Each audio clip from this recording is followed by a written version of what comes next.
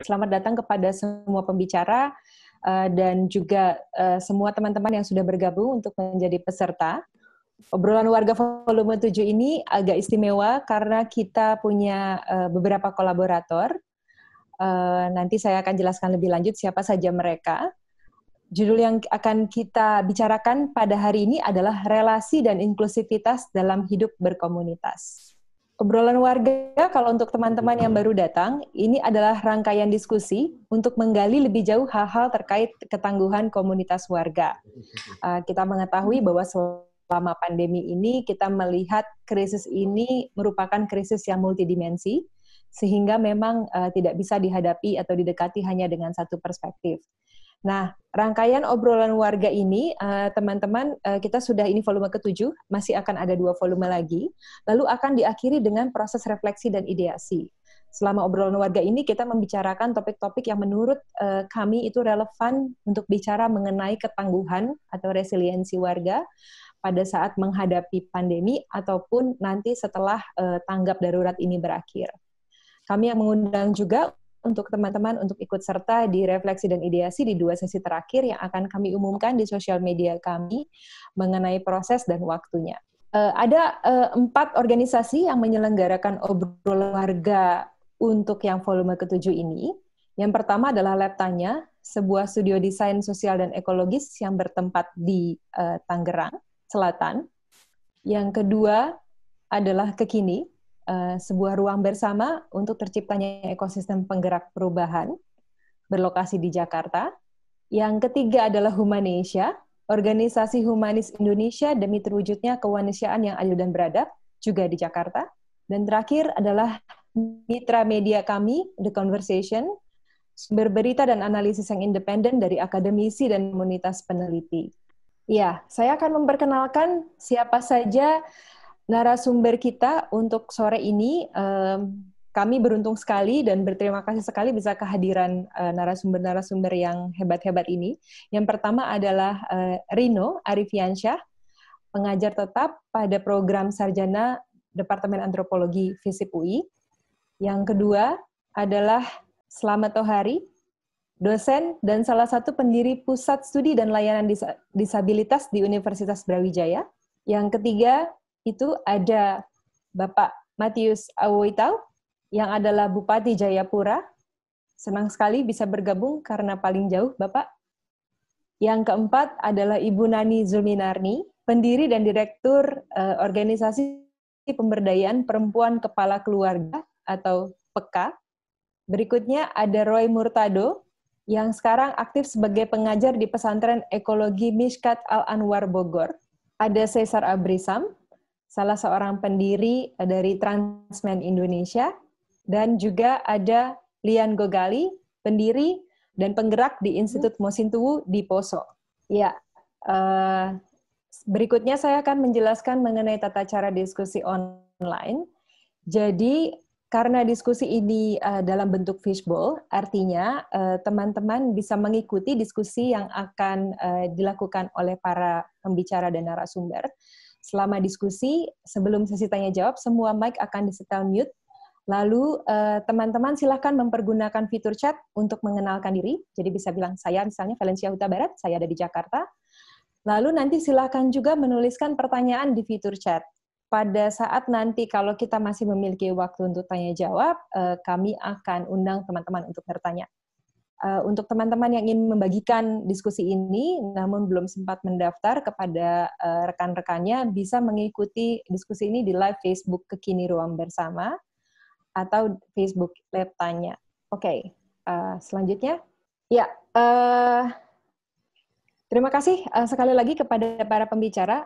Teman-teman, uh, seperti tadi uh, saya sudah uh, beritahukan bahwa kita akan banyak bicara soal reklas, re, re, soal uh, inklusi dalam kehidupan berkomunitas. Uh, kita lagi membicarakan uh, kenapa kami anggap ini penting karena kami merasa bahwa ketika kita berbicara mengenai warga, warga itu tidak terdiri dari satu dimensi. Ada banyak warga yang merupakan uh, uh, sebagai bagian uh, dari uh, satu sistem uh, dari negara ini yang memiliki banyak sekali latar belakang yang berbeda. Nah, untuk itu itu kemudian memang ketika mengalami hal-hal yang sifatnya nasional seperti krisis seperti ini uh, membuat kita berpikir apakah uh, solusi, informasi maupun kondisi uh, berita mengenai kondisi itu sudah tersampaikan kepada seluruh lapisan warga atau uh, hanya baru tersampaikan kepada warga tertentu saja. Nah, para pembicara kita, narasumber kita pada sore hari ini mewakili lapisan-lapisan warga yang sering kali uh, tidak langsung kelihatan gitu ya, uh, tapi mereka berada dan bergerak gitu ya, uh, yang untuk kemudian mereka bisa menceritakan gitu bagaimana uh, situasi mereka uh, pada saat uh, menghadapi pandemi ini, pergerakan-pergerakan mereka dan juga nanti akan ada uh, diskusi mengenai imajinasi. Nah, dalam diskusi fishbowl ini kita akan menjadi membagi menjadi dua ronde. Ronde pertama itu uh, akan ada pemantik yang akan dilakukan oleh uh, Rino Arifiansyah. Lalu nanti uh, pembicara lainnya akan menanggapi. Uh, setelah itu kita akan masuk ke ronde kedua di mana kita akan bicara mengenai imajinasi dan hal-hal yang bisa kita lakukan uh, sebagai uh, warga yang bergerak. Saya persilahkan uh, Inyo, Rino, ini karena teman lama jadi saya panggilnya Inyo terus uh, untuk memulai pantikan diskusi. Silahkan Inyo. Oke, uh, terima kasih. Selamat sore semuanya.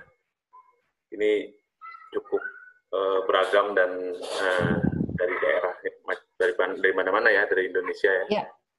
Oke, terima kasih uh, ke kini teman-teman di Letanya juga uh, semua pihak yang sudah menginisiasi uh, kegiatan ini dan memberi kesempatan saya untuk uh, ikut dalam uh, dialog uh, warga ini gitu ya.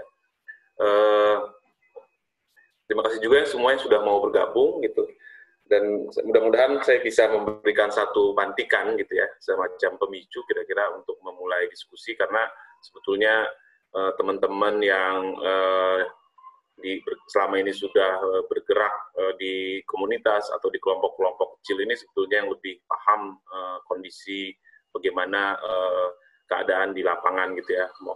Jadi kalau saya mungkin karena dari diminta sebagai pemantik dari antropologi gitu ya, secara antropologi sebetulnya kami melihat bahwa sebetulnya kan memang uh, satu hal penting dari dari ke, dari yang kami pelajari adalah mengenai relasi, termasuk juga uh, relasi sebetulnya relasi sosial gitu ya, yang sebetulnya dalam kajian antropologi uh, yang lebih uh, mutakhir gitu, tidak hanya berbicara mengenai relasi sosial antara uh, manusia dengan manusia, tapi juga dalam relasi sosial tersebut sebenarnya juga ada juga relasi antara manusia dengan entitas-entitas lain gitu, baik misalnya dia dengan uh, sesuatu yang dianggap sebagai entitas yang sakral gitu, atau misalnya relasi antara manusia dengan uh, non manusia dalam hal ini ya entitas uh, seperti ruang-ruang fisik gitu ya, atau ruang atau misalnya makhluk-makhluk uh, selain manusia, jadi ada termasuk juga relasi dengan virus gitu mungkin ya, ini jadi jadi penting. Nah, satu hal yang yang yang mungkin kita amati bersama sebetulnya tadi sudah disampaikan juga oleh Mbak eh, Valencia bahwa kondisi uh, pandemi ini sebetulnya mengungkap berbagai macam relasi sosial yang mungkin sebelumnya tidak menjadi perhatian bersama gitu ya atau muncul model-model relasi yang sebelumnya tidak uh, nampak gitu ya lalu keluar ke permukaan gitu kan jadi yang tadinya misalnya kita bisa melihat bahwa salah satu reaksi pertama dari uh, keadaan ini adalah uh, reaksi pertama adalah munculnya misalnya reaksi-reaksi yang bersifat rasisme misalnya. Kayak teman saya di di yang sedang sekolah di luar negeri begitu ya, karena dia dianggap punya wajah yang mirip dengan atau diidentikan dengan satu kelompok etnis tertentu, dia mendapatkan perlakuan yang kurang menyenangkan di jalan gitu yang tadinya. Jadi itu. Lalu juga misalnya kita bisa melihat bagaimana kemudian uh, reaksi pertama yang muncul misalnya adanya seperti panik buying gitu ya atau misalnya orang-orang di media sosial di akun-akun YouTube dan lain sebagainya mempromosikan orang untuk belanja sesuatu yang ternyata pada akhirnya itu sama sekali nggak berguna gitu ya maksudnya untuk misalnya untuk me, me, apa, menimbun gitu ya, sampai ke toilet dan lain uh, toilet paper dan lain sebagainya gitu atau mungkin harga masker yang kita pernah rasakan misalnya sampai ada yang sampai 300 ribu gitu ya untuk 10 biji dan lain sebagainya. Nah ini relasi-relasi apa namanya bentuk-bentuk mode-mode relasi seperti itu misalnya kalau dalam antropologi kita melihat bukan cuma mode-mode relasi yang sebetulnya mutual yang saling menguntungkan tapi juga mode-mode relasi sosial harus kita akui juga ada yang bersifat uh, tidak uh, saling menguntungkan misalnya relasi-relasi yang bersifat uh, apa namanya predasi gitu ya atau relasi-relasi uh, yang bersifat uh, asimetrik kan jadi itu muncul gitu ke permukaan ketika krisis ini krisis ini datang gitu ya. Jadi uh, tapi juga uh, kita bisa lihat sebetulnya relasi-relasi uh, sosial lain juga kemudian bermunculan gitu. Dan sebetulnya ini kalau kita mau melihat sebetulnya ada sebenarnya uh, apa namanya bentuk-bentuk seperti mutual aid yang saya pikir uh, bias biasanya bentuk-bentuk mutual aid itu bukan sesuatu yang datang tiba-tiba gitu. Karena biasanya ini sebuah long term commitment yang kemudian memang menjadi teramplifikasi dalam situasi ini gitu ya.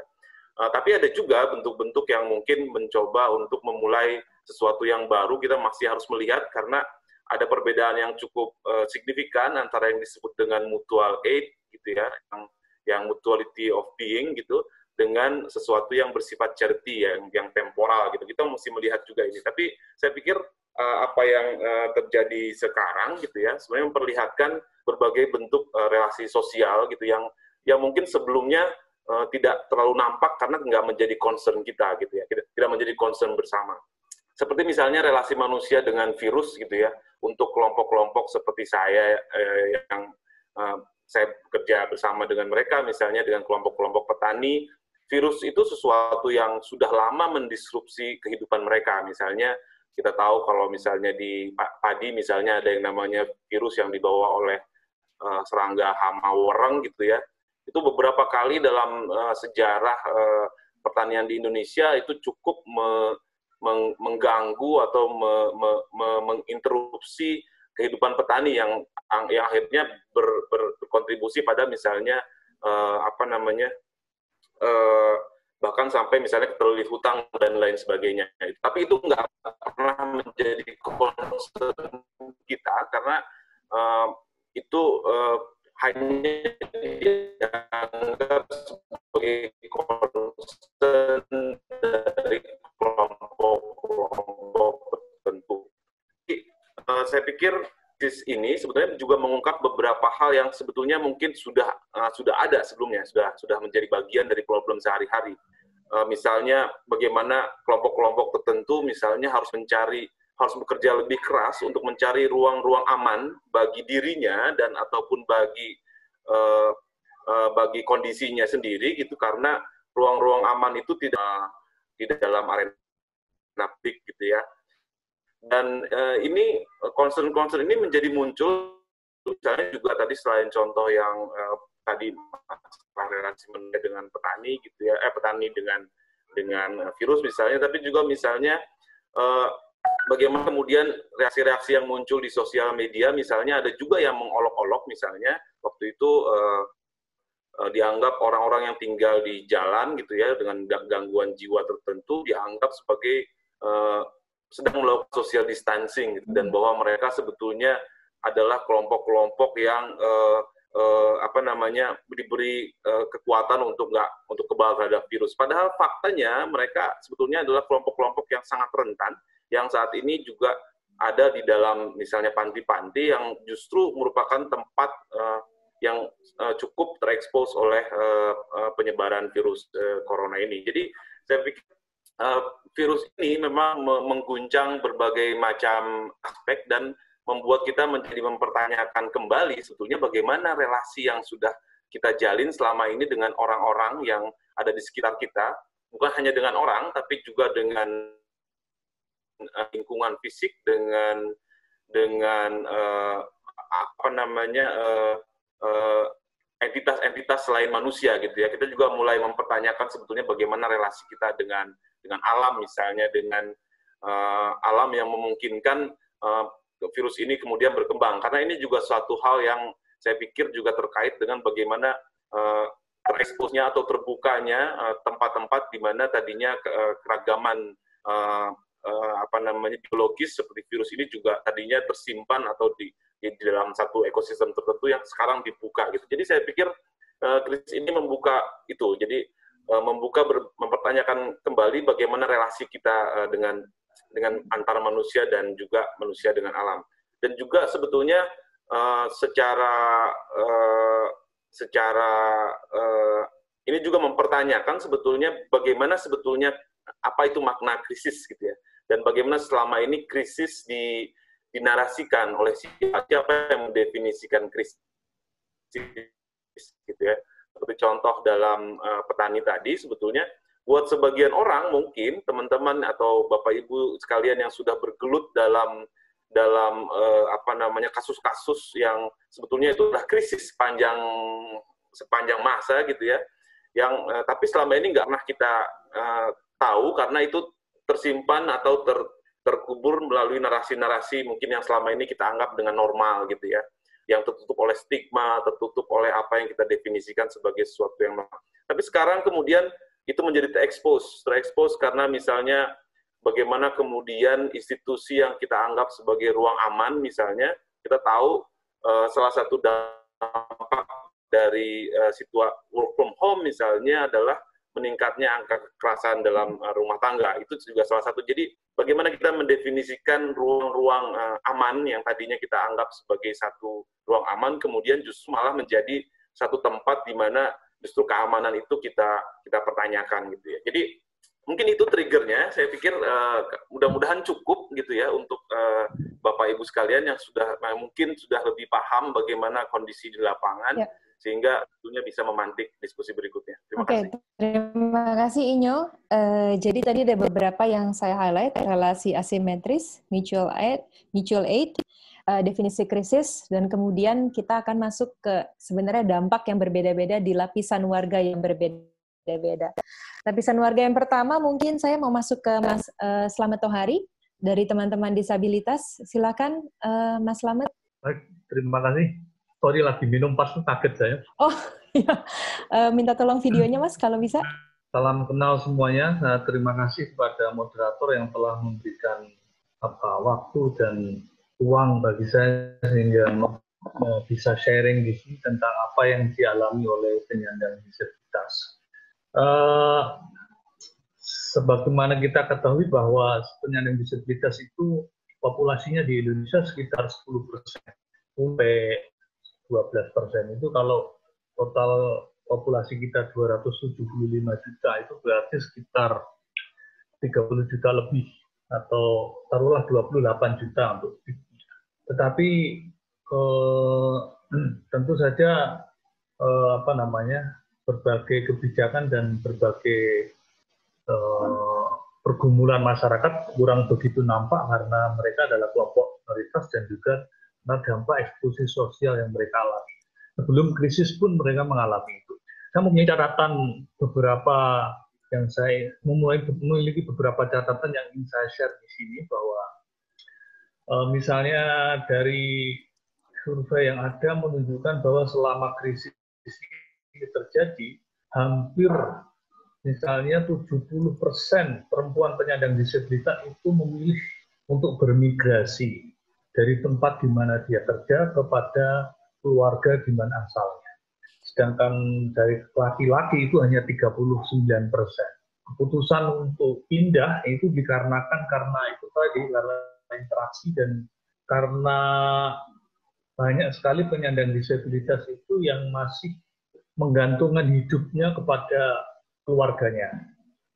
Mereka adalah kelompok rentan yang misalnya ketakutan-ketakutan tertentu misalnya kalau mau beli atau kalau terpleset atau kalau bermobilitas itu kan ketika Gojek, ketika taksi taksi yang lain tidak ada ketika transportasi ditutup, maka mereka akan tergantung pada keluarga atau teman ataupun partnernya. Maka mereka memilih untuk bermigrasi dan ini mencapai 70 persen.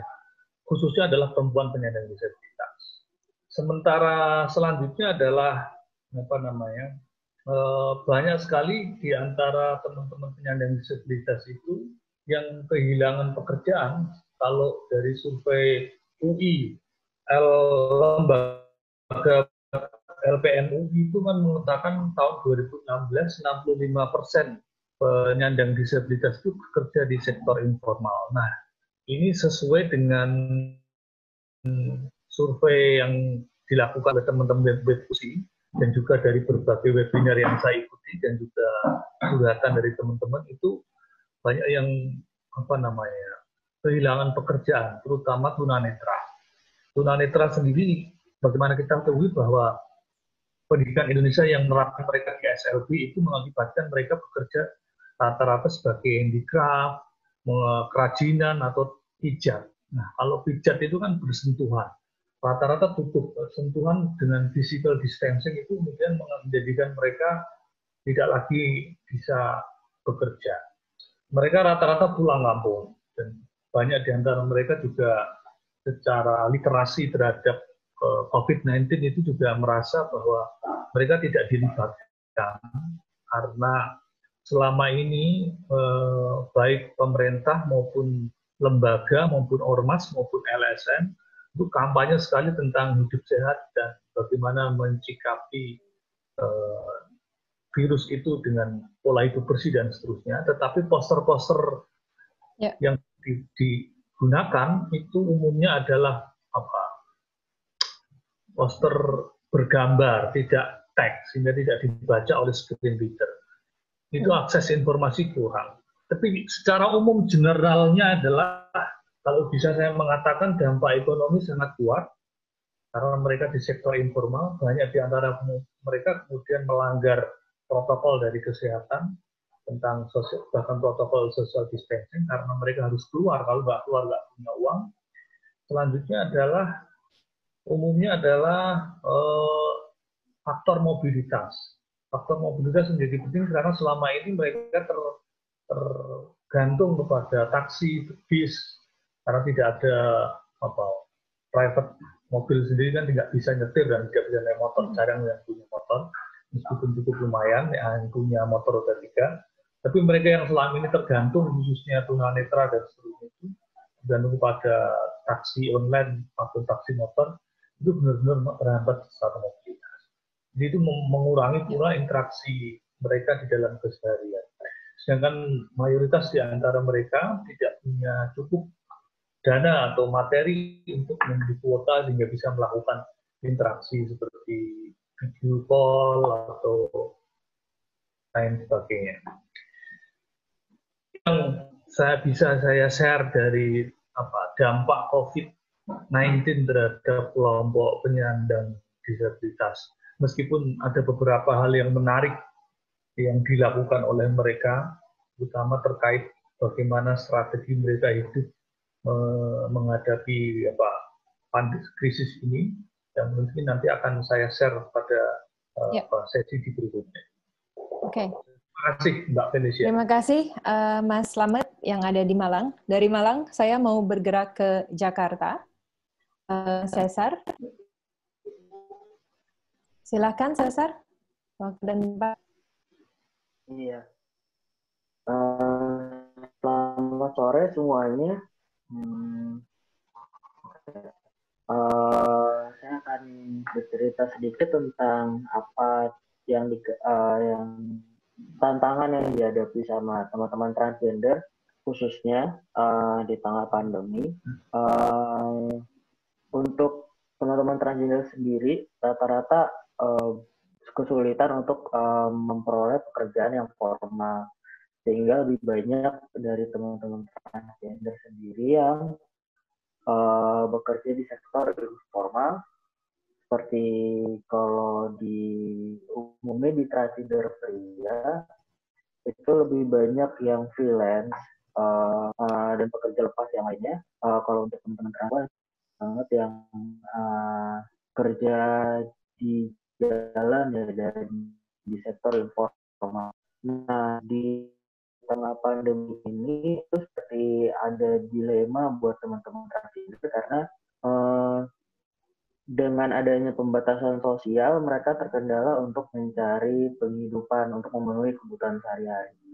Uh, tapi kalau misalnya diam di rumah mereka juga nggak makan. Jadi uh, seperti apa yang kasus yang terjadi baru-baru ini, kasus teman-teman transpuan seperti yang kasus Mira dan di kasus bullying di Bandung, uh, itu seperti menunjukkan bahwa kalau misalnya teman-teman transgender di tengah pandemi itu makin sulit uh, kondisinya.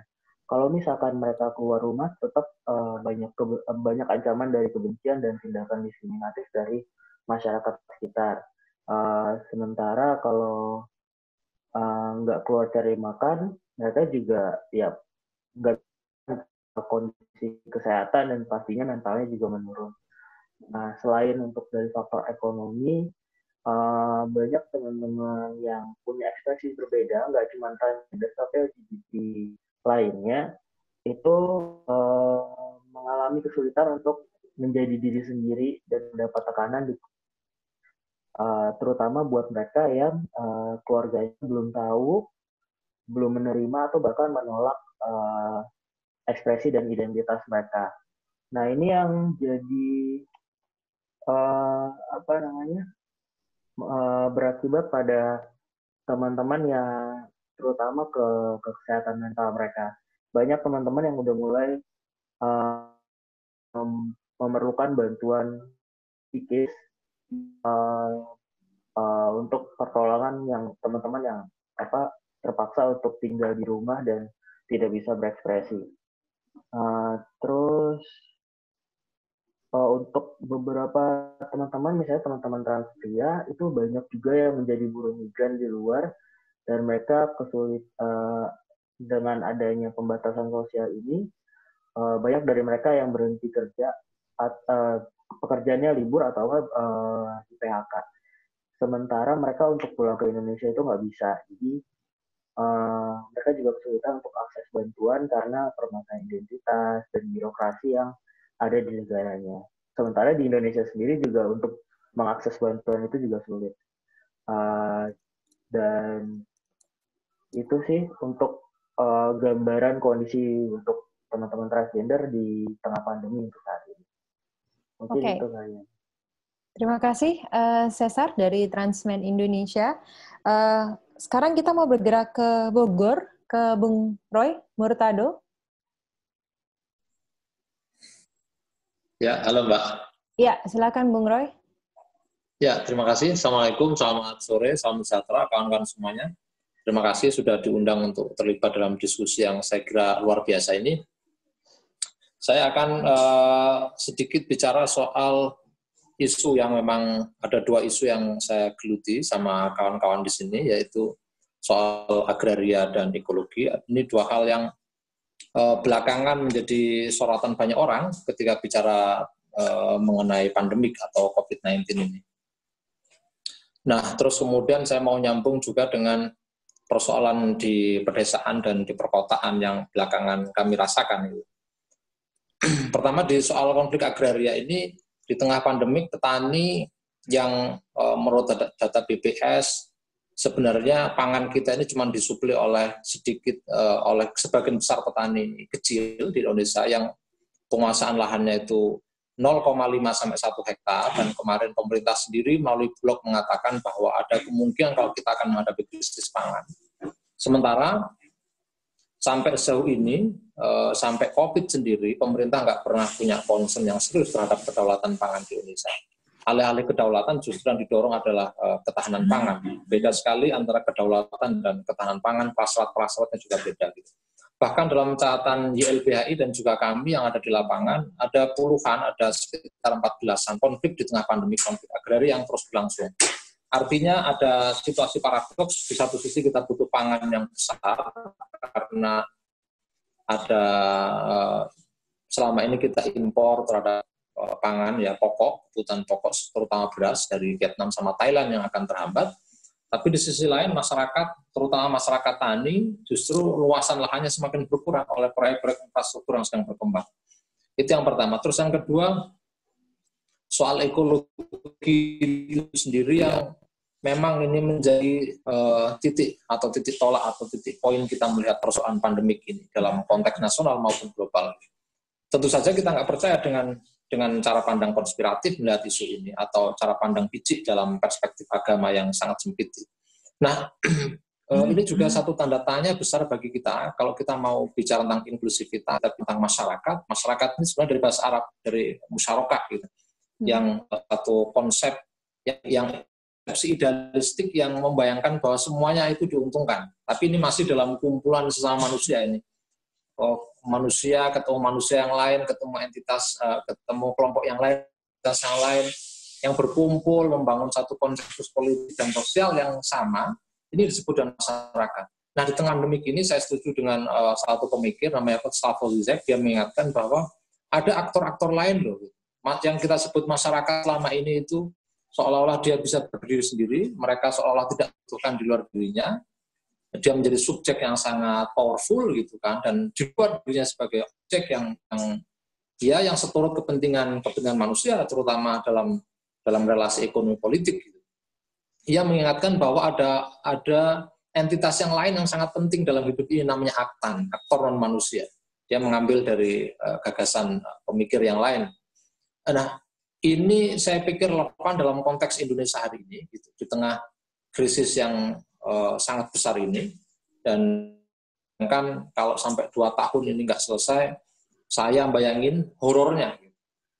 Uh, masyarakat sebelum pandemi ini sudah sangat uh, ter, terbelah-belah, tersegregasi dengan sedemikian rupa, terutama warisan dari pemilu 2014 dan 2019 yang sampai sekarang bahkan kritik kepada pemerintah pun bisa dipahami lain gitu. Tapi juga ada orang yang memakai momentum ini untuk menjatuhkan itu misalnya. Padahal kan kita butuh kritik yang membangun untuk agenda yang lebih lebih maju ke depan. Nah, eh, momen ini saya kira paradoks yang lain dalam konteks sosial adalah di satu sisi kita nggak boleh bersentuhan, nggak boleh berjumpa, nggak boleh bertatap muka. Bahkan orang bayangin silaturahim atau silaturahmi itu ketemu, berkunjung gitu dalam tradisi masyarakat Islam Nusantara di Indonesia itu. Tapi sekarang segala-galanya itu nggak boleh. Tapi justru pada momentum itu kita dipaksa atau dituntut untuk melipat gandakan solidaritas. Nah, ada yang menarik yang saya amati, kondisi di perkotaan yang lagi-lagi dalam konsepsi yang idealistik itu dibayangkan masyarakat yang kosmopolit. Dulu bandar-bandar itu dibangun di, di apa itu di di tepian laut karena orang orang bisa berinteraksi dengan banyak komunitas dan agama etnis yang lain, komunitas lain untuk melakukan perdagangan, pertukaran budaya. Dan itu yang dibayangkan sebagai kota, tapi itu nggak pernah ada dalam kota bernama Jakarta atau kota-kota besar di Indonesia. Kota yang kosmopolitan nggak, nggak pernah kosmopolitan. Dia nggak ramah dengan disabilitas, dia nggak ramah dengan kelompok minoritas, dia nggak ramah dengan tafsir agama yang berbeda dan lain-lain. Hmm. Nah ini yang yang menjadi menarik karena kondisi di pedesaan justru kami temui situasi yang berbeda masyarakat adat misalnya ini riset saya yang sebelum pandemi baru selesai di di mana itu di hulu Sungai Tengah satu kabupaten yang di situ ada kawasan pegunungan namanya Pegunungan Meratus. Eh, satu-satunya pegunungan yang yang menjadi penyelamat lingkungan di Pulau Kalimantan. Masyarakatnya justru semakin kompak bagaimana untuk hidup eh, menjaga lingkungan. NU Muhammadiyah masyarakat adat Kristen, semuanya bersatu padu. Mendapatkan momentum lagi dengan situasi pandemi ini, mereka mendapatkan semakin terkonfirmasi apa yang apa yang menjadi pikiran mereka, baik pemerintah daerah maupun masyarakatnya. Ternyata kabupaten ini, bahkan mungkin banyak kabupaten yang lain harus begini. Apa itu? Membangun yang tidak memungkungi uh, keberlangsungan lingkungan yang ada di sana. Nah ini ini menjadi tamparan keras sebenarnya dalam konteks nasional gitu. Masyarakat kota ini kan mereka juga merasa powerful, nggak butuh nggak butuh orang-orang kampung, mungkin bahkan nggak punya bayangan tentang tentang petani gitu dari mana mereka makan, dari mana mereka dapat pangan itu. Sementara situasinya sangat berbeda. Saya mau ulangi pertama eh, pemerintah belum mendukung, tapi masyarakat sangat optimis menyiapkan pangan bagi kita Bulog sampai meminta agar masyarakat Indonesia Timur, kawasan timur menyiapkan sagu. Mau kita tahu banyak banyak hutan-hutan adat yang sudah dialihfungsikan untuk kepentingan ekstraksi. Sementara di kota gitu nggak punya bayangan soal itu. Masyarakatnya ribut dengan dengan ini ya retorika politik populistik baik dalam kelompok agama maupun non agama. Gitu. Nah ini menjadi tantangan bagi kita. Mudah-mudahan COVID ini bisa kita dorong lebih maju dalam percakapan politik ke, ke kewargaan, keindonesiaan kita. Kita hmm. menemukan lagi situasi itu karena saya sendiri merasa punya hambatan tinggal di Bogor. Sejauh ini orang itu sangat anti, mohon maaf ya, saya tidak mengeneralisir, tapi sebagian besar di lingkungan kami, orang itu anti dengan Kristen, anti dengan China, anti dengan ini. Tapi sekarang suasana itu cukup cair karena kami punya program-program di, di tingkat desa, di tingkat kelurahan gitu, saling berbagi bersama, eh, menjaga kampung bareng-bareng. Nah ini saya pikir paradoks maupun kontradiksi ini bisa kita manfaatkan untuk membangun inklusivitas dalam pengertian yang sangat generik. Gitu. Baik relasi manusia dengan manusia yang lainnya, punya caring for other gitu, maupun dengan dengan entitas yang lainnya di luar manusia yaitu alam. Nah, saya sebelum saya tutup saya nambahi Mas Inyo tadi itu menarik sekali soal uh, ini ya perubahan ruang. Uh, bagaimanapun perubahan ruang itu sangat mempengaruhi perilaku manusia bahkan hewan. Saya mau cerita sedikit saja. Saya punya eksperimen misalnya kucing-kucing ada yang ada di Jakarta itu karena dia mereka bukan dia mereka yang kami bikin eksperimen itu dari sekian tahun mereka nggak punya tanah. Padahal akhlaknya kucing, perilaku kucing itu bawaan mereka. Kalau mau buang air mereka harus uh, mencari tanah yang gembur atau mencari pasir. Pasir itu tidak ada sekarang. Karena itu semua kucing di Jakarta kalau dibawa ke Bogor misalnya kita kasih tanah, mereka juga nggak akan ngerti caranya buang air yang benar. Gitu. Menurut tradisi kucing gitu ya. Artinya kita semua imajinasi kita diubah. Di desa-desa kenapa misalnya ada konflik-konflik horizontal yang saya yakin itu triggernya adalah persoalan ekonomi politik, bukan soal agama dan etnis. Di Ambon nanti bisa diceritakan juga nanti Mbak Lani ya. Yang kondisinya nggak begitu. Gitu. Nah ini justru terjadi di kota-kota, sangat rentan sekali, terutama masyarakat yang setiap hari dicekoki dengan retorika populistik ya. Ini gara-gara China, ini gara-gara kafir gitu misalnya. Ini kita ganti aja misalnya di Donald Trump juga begitu gitu. Di apa itu di India ada ada rezim yang juga sama. Artinya retorika ini mirip-mirip saja. Nah, eh, saya percaya bahwa perubahan ruang yang sedang terjadi hari ini itu mengubah seluruh cara berpikir kita dan ber, berperilaku kita. Ini tantangan besar bagi bagaimana pandangan-pandangan sosiologis maupun antropologis orang yang dibayangkan itu baik dengan membangun sistem sosial yang baik yang duduk uh, bersama bisa berdialog itu rupanya nggak begitu juga. Faktanya kondisi material yang nggak begitu. Ada situasi yang sangat kompleks yang mempengaruhi itu. Salah satunya saya percaya adalah kepentingan ekonomi politik dan perubahan ruang yang demikian drastis. Termasuk juga terjadinya COVID hari ini. Terima kasih. Itu Mbak Valencia. Terima kasih. Uh, terima kasih uh, Bung Roy. Itu pengantarnya baik sekali untuk masuk ke uh, penanggap berikutnya, tadi saya catat satu, membangun dengan tidak memunggungi masyarakat adat, dan dari uh, pengantar itu saya mau bawa kita ke Jayapura, bertemu dengan Pak Bupati Jayapura, Bapak Matius Awoitau. Uh, silakan Pak Matius, waktu dan tempat kami persilakan. Baik, uh, terima kasih. Uh, selamat malam. Selamat malam Bapak. Di Jakarta mungkin masih sore ya. Di Jakarta jam setengah lima sore, benar Pak? Ya. Baik, uh, terima kasih. Uh, saya tidak tahu, saya baru masuk dalam diskusi hari ini. Ya. Ini sudah berlangsung berapa hari dan uh, dari sini saya coba melihat bahwa dalam situasi ini, dalam situasi COVID ini, khusus untuk di Papua dan secara khusus di Jayapura, eh, kami melihat bahwa eh, secara keseluruhan itu ada 17 kabupaten Papua itu sama sekali tidak terpengaruh dengan COVID. Hmm. Ya, karena situasi di Papua ini kan eh, tidak ada akses ya, kecuali ada pesawat. Kalau pesawatnya dalam situasi ini sudah itu sama sekali mereka aman.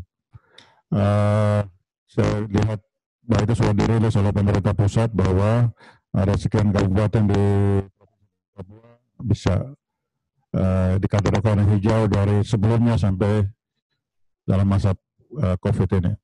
Ya. Kemudian uh, khusus untuk Jayapura, uh, memang 19 kecamatan atau 19 distrik, 17 distrik kita kategorikan itu hijau hmm. dalam uh, COVID ini. Kemudian satu distrik merah dan yang lain kuning, yang duanya. Mengapa demikian? Karena memang uh, kondisi masyarakatnya memang berbeda bervariasi antara dua kawasan ini. Jadi 17 distrik ini rata-rata homogen. Uh, kemudian uh, lebih banyak hidup dari dari kampung-kampung di ke distrik di kecamatan-kecamatan sehingga eh, komunikasinya itu ya tidak terlalu eh, tidak terlalu bervariasi ya. Tapi yang di kota, kota dan beberapa uh, distrik yang tadi uh, apa, uh, kita kategorikan sebagai kuning itu memang rata-rata hidup dari jasa dan itu sangat heterogen. Dari berbagai budaya dan agama juga ada di sangat heterogen. Sehingga eh, kami ini di, jahat apa eh, pandemi COVID-nya cukup terasa ya. Kami di sini sudah sekitar kasusnya kumulatif sekitar 32. Hmm. Uh, jumlah penduduk uh, belum sampai 200, hampir 200 lah, 200 ribu. Nah dengan demikian, sehingga perhatian kami pemerintah untuk dua kawasan ini berbeda kami melihatnya, jadi tidak sama. Jadi apa yang digembar-gemborkan di luar dari Papua, untuk 17 distrik kami perlakukan berbeda. Okay. Tidak seperti yang uh, dengan protokol kesehatan yang uh, ketat, tetapi tetap pembatasan-pembatasan ini tetap kami lakukan untuk supaya tidak ada interaksi hmm. antara dua kawasan ini. Uh, khususnya untuk di uh, 17 distrik homogen ini, memang kita arahkan perhatian kita gerakan untuk mereka ini kembali ke kebun. Ya. Jadi bukan kembali ke kepada uh, kebudayaannya, adat istiadatnya, bagaimana mengelola lahan dan batas-batas kepemilikan yang ada secara adat. Nah kita coba perkuat. Memang uh, selama ini uh, hampir 8 tahun saya jadi kepala daerah memang visi saya untuk memperkuat masyarakat adat. Uh, selama ini kita gembar-gemborkan dan dengan adanya COVID ini ini memberi semangat baru untuk kita terus memberi harapan bahwa uh, kekuatan masyarakat adat ini bisa menjadi solusi untuk mereka di kota. Dalam arti untuk ketahanan pangannya. Jadi sekarang kita sedang uh, gerakan uh, kembali ke kebun dan seluruh masyarakat hari ini kalau cari mereka mereka tidak memikir lagi ke kota, mereka sekarang berpikir untuk ke kebun dan mereka semua ada di sana. Nah sekarang eh, pemerintah daerah ini mulai merubah, memikirkan untuk bagaimana eh, kampung-kampung ini menjadi pusat uh, suplai bahan makan untuk ke kota kalau terjadi uh, pangan dari Eh, kami dengar bahwa akan uh, selama ini memang uh, penerbangan dan apa ini uh, belum berjalan ya khusus untuk menumpang baik kapal laut. Hanya kargo saja yang jalan jadi itu juga cukup terasa. Tetapi kalau misalnya dari kementerian pemerintah pusat mengatakan bahwa akan ada kelangkaan-kelangkaan pangan akan terjadi maka ini kesempatan untuk kebangkitan masyarakat adat untuk uh, membangun masa depan untuk Papua. Dan kita bisa mulai dari uh, Jayapura. Dan ini juga selama ini uh, dengan adanya pola pembangunan yang begitu memanjakan sehingga masyarakat di kampung ini selama ini lebih banyak eh, berharap dari kota dengan berbagai bantuan dari pemerintah dan sebagainya. Jadi ini juga kemarin kami sedikit mengalami kesulitan karena uh, ketergantungan cukup tinggi. Tapi dengan adanya COVID ini buat pembatasan tidak boleh lagi turun ke kota, harus kembali ke kebun. Dan dengan uh, di luar bahwa akan ada kelangkaan-kelangkaan dan seterusnya, nah ini menjadi semangat baru lagi untuk kembali memperkuat jati dirinya memperkuat semangat semua yang sesuai dengan budaya dan adat istiadat. Dan saya lihat ini adalah salah satu kesempatan untuk bagaimana kita menata uh, kemandirian dari berbagai aspek terhadap masyarakat di Papua. Tidak berharap lagi.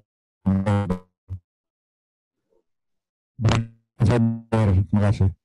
Terima kasih uh, Pak Bupati uh, untuk ceritanya. Uh, ini sangat terkait sekali dengan uh, penanggap berikutnya. Uh, saya mau mengajak kita ke Poso, ke Lian Gogali. Mungkin Lian bisa bercerita hal yang sangat dekat juga dengan apa yang dilakukan oleh uh, Pak Matius di Jayapura. Silakan Lian. Ya, terima kasih Mbak Ellen. Uh, saya senang sekali bisa bergabung dalam obrolan warga ini dan bisa belajar banyak dari cerita-cerita teman-teman dengan berbagai pengalaman dan perspektif. Uh, sebelum menjawab tadi uh, hubungannya dengan apa yang sedang dilakukan di Jaya dan sedang kita kembangkan juga di Poso, saya ingin cerita pertama soal konteks konteks krisis yang sekarang mungkin sedang uh, bukan mungkin tapi sedang dihadapi oleh masyarakat ya. Poso secara khusus karena uh, saat ini kalau di Poso, Kabupaten Poso sendiri dia tidak hanya menghadapi yang kita sebut dengan uh, COVID-19 tetapi juga menghadapi tiga tiga bencana sekaligus gitu ya. Yang pertama memang berkaitan dengan uh, konteks keamanan. Uh, kemarin itu baru saja ada dua orang lagi petani ditembak uh, mati oleh uh, polisi Sebelumnya pada bulan uh, April itu ada uh, dua ada dua petani dibunuh oleh um, MIT, lalu kemudian uh, satu ditembak ditembak juga oleh aparat keamanan. Jadi secara sepanjang tahun belum setengah belum satu tahun tapi baru setengah tahun di 2020 ini peristiwa-peristiwa penembakan dan uh, pembunuhan bahkan mutilasi di Kabupaten Poso itu itu menjadi bagian dari uh, bagaimana masyarakat harus mendefinisikan ulang uh, krisis yang sedang mereka hadapi bersamaan dengan uh, bencana nasional yang yang uh, berkaitan dengan wabah COVID-19. Sebenarnya ketika uh, ketika pertama kali diumumkan oleh uh, pemerintah bahwa COVID-19 adalah bencana nasional, para petani dan uh, khususnya para petani di wilayah Poso Pesisir itu sudah memutuskan untuk pergi ke kebun, berkebun setidaknya sekitar 10 km dari kampung mereka sebagai salah satu alternatif mereka untuk bertahan hidup. Karena uh, dalam cerita sejarah orang Poso ketika wabah flu Spanyol terjadi orang-orang tua kami itu pernah mengingatkan bahwa setelah wabah itu akan menyusul dengan ancaman kelaparan. Maka ajakan untuk berkebun itu pernah uh, menjadi bagian dari narasi orang-orang Poso. Tapi ketika mereka berkebun ancaman keamanan keamanan menjadi uh, sesuatu yang nyata di depan mata. Uh, yang lebih sulit lagi adalah dalam konteks keamanan di Kabupaten Poso itu um, apa namanya pilihan untuk kemudian melanjutkan kehidupan dengan pangan alternatif dengan uh, dengan berdaulat atas pangan mereka sendiri itu menjadi tidak mungkin karena uh, ancamannya pada kedua belah pihak uh, dalam dalam hal ini saya mau bicara bahwa kategori kalau tadi bicara soal ruang-ruang yang yang uh, yang uh, dibongkar dibongkar maknanya dalam konteks wabah Covid ini dalam konteks poso juga hal yang sama terjadi. Uh, misalnya dulu itu orang uh, berasumsi bahwa kalau misalnya dikawal oleh TNI atau polisi itu akan lebih aman kalau berkebun. Sekarang justru sebaliknya masyarakat merasa lebih takut kalau misalnya dikawal oleh polisi dan uh, eh, TNI karena uh, uh, mereka bisa ditembak atau mereka bisa dimutilasi oleh kelompok bersenjata di hutan karena alasan-alasan yang sama. Tapi di satu pihak juga apa namanya operasi ini perlombaan yang sudah yang ketujuh kalau nggak salah ini di Kabupaten Poso ini ini juga terus terus dianggap sebagai sebuah langkah yang uh, langkah yang akan terus dilanjutkan sebagai uh, sebagai satu-satunya alternatif untuk untuk warga di Poso. Jadi itu mungkin konteks yang pertama, konteks yang kedua bersamaan dengan uh, peristiwa keamanan di Poso pesisir dan juga wabah Covid, masyarakat Poso itu juga uh, sebagian besar mengalami uh, bencana alam, baik itu banjir yang menenggelamkan rumah-rumah, kemudian uh, longsor yang kemudian mengisolasi uh, mengisolasi daerah-daerah pasokan makanan di daerah perkebunan yang menyulitkan uh, beberapa uh, wilayah sehingga um, bagi masyarakat Poso itu agak sulit untuk kemudian mendefinisikan ulang mendefinisikan beberapa anjuran-anjuran yang berkaitan dengan uh, saling saling jaga atau jaga jarak dan dan seterusnya dalam konteks ini. Uh, konteks yang ketiga sebenarnya berkaitan dengan um, kebijakan politik ya, tapi juga berkaitan dengan perjuangan uh, masyarakat atas uh, sumber daya alam. Jadi uh, ada semacam sebenarnya ada semacam kesadaran bersama di masyarakat Poso tentang uh, pentingnya untuk kemudian melanjutkan uh, uh, melanjutkan kehidupan dengan dengan kedaulatan pangan, dengan uh, cara mempertahankan tanah dan air dan seterusnya. Uh, sayangnya uh, sebagian besar proses-proses perjuangan atas sumber daya alam ini itu terkendala dengan kebijakan-kebijakan uh, pemerintah tapi juga perusahaan yang uh, memilih untuk kemudian mengeksploitasi dan mengambil alih tanah dan juga air di uh, di uh, di masyarakat seperti itu. Uh, jadi kalau saya yang menarik selain soal mendefinisikan ulang soal relasi gitu ya, ya. Uh, relasi sosial dan entitas lainnya, menarik untuk kemudian melihat dalam konteks keamanan di Poso. Kalau dulu ada kategorisasi orang bicara tentang Islam dengan Kristen uh, atau uh, kelompok ini dan kelompok ini, tapi dalam konteks di uh, wabah ini sebenarnya justru uh, kami melihat tidak ada kategorisasi agama lagi sekarang karena uh, yang ada itu adalah uh, kategori bagaimana orang bukan kategori tetapi bagaimana kemudian uh, masyarakat saling membantu dan menolong. Misalnya ketika ada peristiwa peristiwa penembakan dan kemudian masyarakat entah Muslim dan Kristen dan juga Hindu itu saling bergotong royong untuk kemudian mencari mencari ini ya mencari um, uh, bagian dari uh, tubuh yang dimutilasi, tetapi mereka berhadapan dengan kenyataan bahwa mereka sendiri uh, terancam keamanannya seperti itu. Jadi ketika masyarakat bahu membahu untuk saling menolong untuk bisa uh, bisa melanjutkan uh, uh, rasa aman dan juga melanjutkan kehidupan, tapi mereka berhadapan atau di, dihadapkan pada uh, kenyataan uh, ketidakamanan yang yang uh, berada ke uh, dengan mereka seperti itu.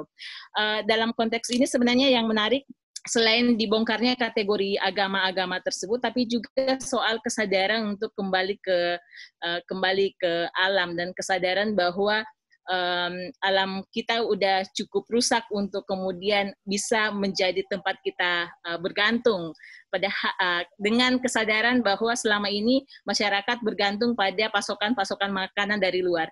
Begitu banjir, begitu longsor terjadi dan pasokan mata, makanan di uh, terputus, maka uh, kemudian masyarakat harus kemudian mengolah sendiri uh, tanah yang ada di sekitar uh, mereka. Nah, ini mengingatkan saya untuk kisah uh, yang sedang dilakukan oleh teman-teman uh, Bapak Ibu uh, yang bergabung di Aliansi Penjaga Danau Poso hmm. yang kemudian uh, mengingat kembali narasi-narasi uh, saat saat wabah wabah Spanyol uh, di di Spanyol di Poso juga dan uh, mengangkat kembali narasi cerita tentang bagaimana masyarakat dulu itu kemudian me, uh, mengatasi wabah itu bukan cuma bukan cuma dengan melakukan uh, isolasi mandiri. Jadi zaman dulu itu orang Poso itu punya cerita ternyata oleh pemimpin spiritual sebelumnya ada tradisi untuk menaruh uh, bendera putih di sebuah desa ketika desa itu sudah terkena wabah. Sebuah bendera yang diletakkan di sebuah desa itu menandakan kepada semua orang untuk tidak boleh keluar dari desa itu atau tidak boleh masuk di desa itu. Lalu kemudian um, uh, kebudayaan dulu itu juga menganjurkan untuk uh, bertanam dan juga mengolah hasil hasil bumi bersama-sama. Nah, cara itu yang kemudian sekarang sedang diambil narasi narasi-narasi itu yang kemudian sejak uh, kemudian dimunculkan kembali untuk menjadi bagian dari uh, cara kita uh, cara kita bertahan. Uh, sehingga uh, apa namanya? Saya rasa sebenarnya di satu pihak ketika bicara tentang wabah uh, COVID, uh, meskipun kita mengalami ancaman ketidakamanan dalam pengertian uh, uh, keamanan seperti itu, tetapi masyarakat kemudian punya pilihan untuk kemudian saling membantu bahwa ini bukan soal agama lagi, tapi soal bagaimana cara uh, kita bertahan hidup. Di satu pihak kemauan untuk uh, kembali pada pada alam, kemauan untuk kemudian bisa bekerja bersama-sama mengelola alam itu juga menjadi pilihan yang dirasakan lebih masuk akal daripada kemudian uh, bergantung pada uh, pada perusahaan atau pada pekerjaan-pekerjaan uh, yang lain. Saya rasa itu yang untuk yang yang pertama. Hanya saja memang salah satu percakapan yang sedang terjadi sekarang di hmm. Poso hmm. karena kami punya sejarah uh, konflik kekerasan se sebelumnya, lalu kemudian uh, jadi kalau petani di Poso itu mulai menyesuaikan pasca kekerasan dengan semua ketakutan mereka itu mereka menyesuaikan dengan ketakutan uh, baru uh, dengan uh, lalu kemudian dengan wabah. Ini ada semacam pembicaraan di antara kami berkaitan dengan jangan-jangan uh, sebenarnya kemudian karena keseringan mengalami proses-proses ini, jadi krisisnya berlangsung berubah wajah, berubah bentuk dan seterusnya sehingga uh, krisis ini kita menjadi krisis uh, menjadi uh, apa sistem imun kita terhadap krisis itu kemudian menjadi uh, menjadi ini ya menjadi uh, abstrak gitu ya sehingga kita merasa hmm. ini biasa saja kayak gitu. Mungkin ini menjadi yang harus kita hadapi terus menerus terus menerus sehingga kita tidak punya ruang untuk memikirkan bagaimana uh, bagaimana secara kebijakan mendukung masyarakat bisa menghadapi krisis ini, tetapi juga secara uh, apa namanya kearifan lokal itu juga bisa mendukung masyarakat menghadapi eh, proses-proses uh, ini. Saya rasa itu dulu okay. cerita sementara ya. Terima kasih banyak uh, Lian uh, dari Institut Mosintowo di Poso. Uh, berikutnya kita akan menuju lapisan warga lainnya, uh, itu adalah perempuan, tapi tidak hanya perempuan, tapi spesifik perempuan kepala keluarga. Uh, saya mau mengundang Mbak Nani Zulminarni. Uh, silakan Mbak, waktu dan tempat kami persilakan. Baik, uh, terima kasih Ellen. Selamat sore teman-teman semua. Sore. Ya, senang sekali bisa uh, berpartisipasi dalam obrolan warga ini. Jadi di Indonesia ini setiap empat keluarga itu satu dikepalai perempuan. Berarti artinya ada 25 persen paling tidak keluarga di Indonesia itu dikepalain perempuan. Mereka itu janda yang suami meninggal, janda bercerai, atau perempuan lajang yang harus menanggung keluarga, suami yang uh, apa tidak mampu memenuhi nafkahnya, atau suami-suami yang bermigrasi ke tempat lain, juga termasuk transpuan yang uh, sangat berperan dalam dalam keberlangsungan keluarga lebih dari 76 persen mereka tuh berada di strata terbawah uh, sosial ekonomi kita. Jadi dia tuh the poorest of the poor di Indonesia. Kalau kita bayangkan secara populasi 25 persen berarti ya sekitar apa 7 hampir 70 70 juta kepala ya dengan sekitar 13 juta keluarga gitu. Dan, dan selama ini mereka sebagian besar itu invisible dalam statistik kita, jadi tidak ada karena karena di statistik kita hanya merekam per kepala rumah tangga yang janda uh, tercatat mungkin suami meninggal atau bercerai. Sementara perkawinan di Indonesia itu tidak semua tercatat sehingga perceraian juga tidak tercatat. Nah, bagaimana mereka umumnya kan karena miskin dan pendapatan uh, selama ini uh, adalah harian ya mereka sebagian besar bekerja di sektor-sektor informal yang sangat tergantung pada income harian. Ketika diberlakukan uh, physical distancing pertama kali di Jakarta, kemudian diikuti secara perlahan di berbagai daerah, uh, saya tuh mendapatkan banyak cerita, banyak uh, kabar-kabar dari ibu-ibu peka kami mengorganisir di 20 provinsi lebih dari 65 ribu anggotanya. Nah, mereka menceritakan betapa dahsyatnya dampak, bukan dampak kesehatan, karena COVID waktu itu belum sampai ke sana sebetulnya, tapi dampak ekonomi. Ya, mereka yang menjadi tumpuan keluarganya tiba-tiba harus kehilangan kehilangan tuh betul-betul total nol gitu ya dan selama ini mereka tidak terlalu punya cadangan untuk itu kecuali tergantung sama ini. Apa yang terungkap uh, kita sementara kita juga nggak bisa berbuat banyak tapi kami mencoba membantu dengan menggalang Tapi apa yang uh, kalau saya ambil frameworknya Inyo tadi soal apa saja relasi-relasi yang terungkap, apa yang dari dari uh, COVID ini, yang pertama adalah bagaimana lenturnya mereka. Perempuan-perempuan miskin yang selama ini ter, terdiskriminasi dan berada terserta di bawah dan struggle keluar dari garis kemiskinan ini sangat lentur ketika pintu uh, ekonomi mereka tertutup di sini mereka kemudian berinovasi memanfaatkan konteks itu untuk membantu sebetulnya membantu orang lain gitu tapi dengan membantu itu kemudian dia bisa mendap keluar dari uh, apa mengatasi kebutuhan ekonominya jadi misalnya mereka ber, ber, bergabung dalam uh, apa kelompok-kelompok yang dibentuk oleh pemerintah untuk mengatasi. Jadi apa namanya uh, satgas-satgas ya, satgas-satgas um, misalnya membuat masker, membagikannya kepada masyarakat, juga satgas-satgas untuk penyemprotan dan sebagainya. Yang ini kemudian menjadi arena resilience mereka ya, kelenturan mereka untuk bertahan gitu bahwa mereka uh, masih bisa berbuat sesuatu. Selain itu juga selain mereka mencari bantuan untuk mengatasi kehidupannya sendiri, mereka juga kemudian menggalang bantuan untuk membantu komunitas-komunitas lainnya, khususnya komunitas-komunitas marginal, termasuk misalnya teman-teman warga disabilitas, lansia yang betul-betul ter, terisolasi gitu. Banyak sekali kepala keluarga lansia yang hidup sendiri juga yang yang harus mereka bantu. Mereka menyebarkan informasi karena kami kemudian memfeeding mereka dengan berbagai informasi apa ini arti apa apa seperti apa prediksi ke depan dan sebagainya mereka kemudian mengemas ini menjadi informasi-informasi obrolan uh, warga sesama mereka. Nah, yang yang menarik juga adalah betapa uh, ketika misalnya ketakutan, mereka kan selain selain soal ekonomi, tapi juga ada soal kekhawatiran dan ketakutan ya, karena mereka tumpuan keluarganya. Kalau saya mati gimana gitu? Kalau padahal dia tetap harus keluar. Kalau saya mati gimana anak-anak saya? Dan bagaimana dia kemudian juga harus memenuhi kebutuhan pendidikan anak-anaknya yang membutuhkan kuota, nggak ada HP yang bisa uh, apa belajar jarak jauh, mereka harus pinjam ke sana. Jadi banyak sekali strategi kehidupan yang muncul gitu dari uh, kelenturan mereka, kemampuan mereka sebagai yang ditempa dari hidupnya ini yang yang muncul. Nah, uh, untuk ke, sebagai misal di pedesaan, di pedesaan misalnya mereka juga menggali uh, kearifan kearifan lama ya untuk mengatasi. Misalnya di PK itu ada ada uh, kegiatan ekonomi mereka ada simpan pinjam ada pakamart yang harus macet gitu karena mereka tidak bisa lagi berinteraksi. Nah kemudian mereka mengembangkan kembali ke sistem barter misalnya ya. Oke kalau gitu sarungnya taruh dulu di sini tukar sama beras dan sebagainya yang memang di beberapa daerah itu itu masih ada tapi ini dilakukan dalam skala yang cukup cukup besar karena tidak ada pilihan lain selain mereka harus bertahan dengan sistem-sistem yang ada.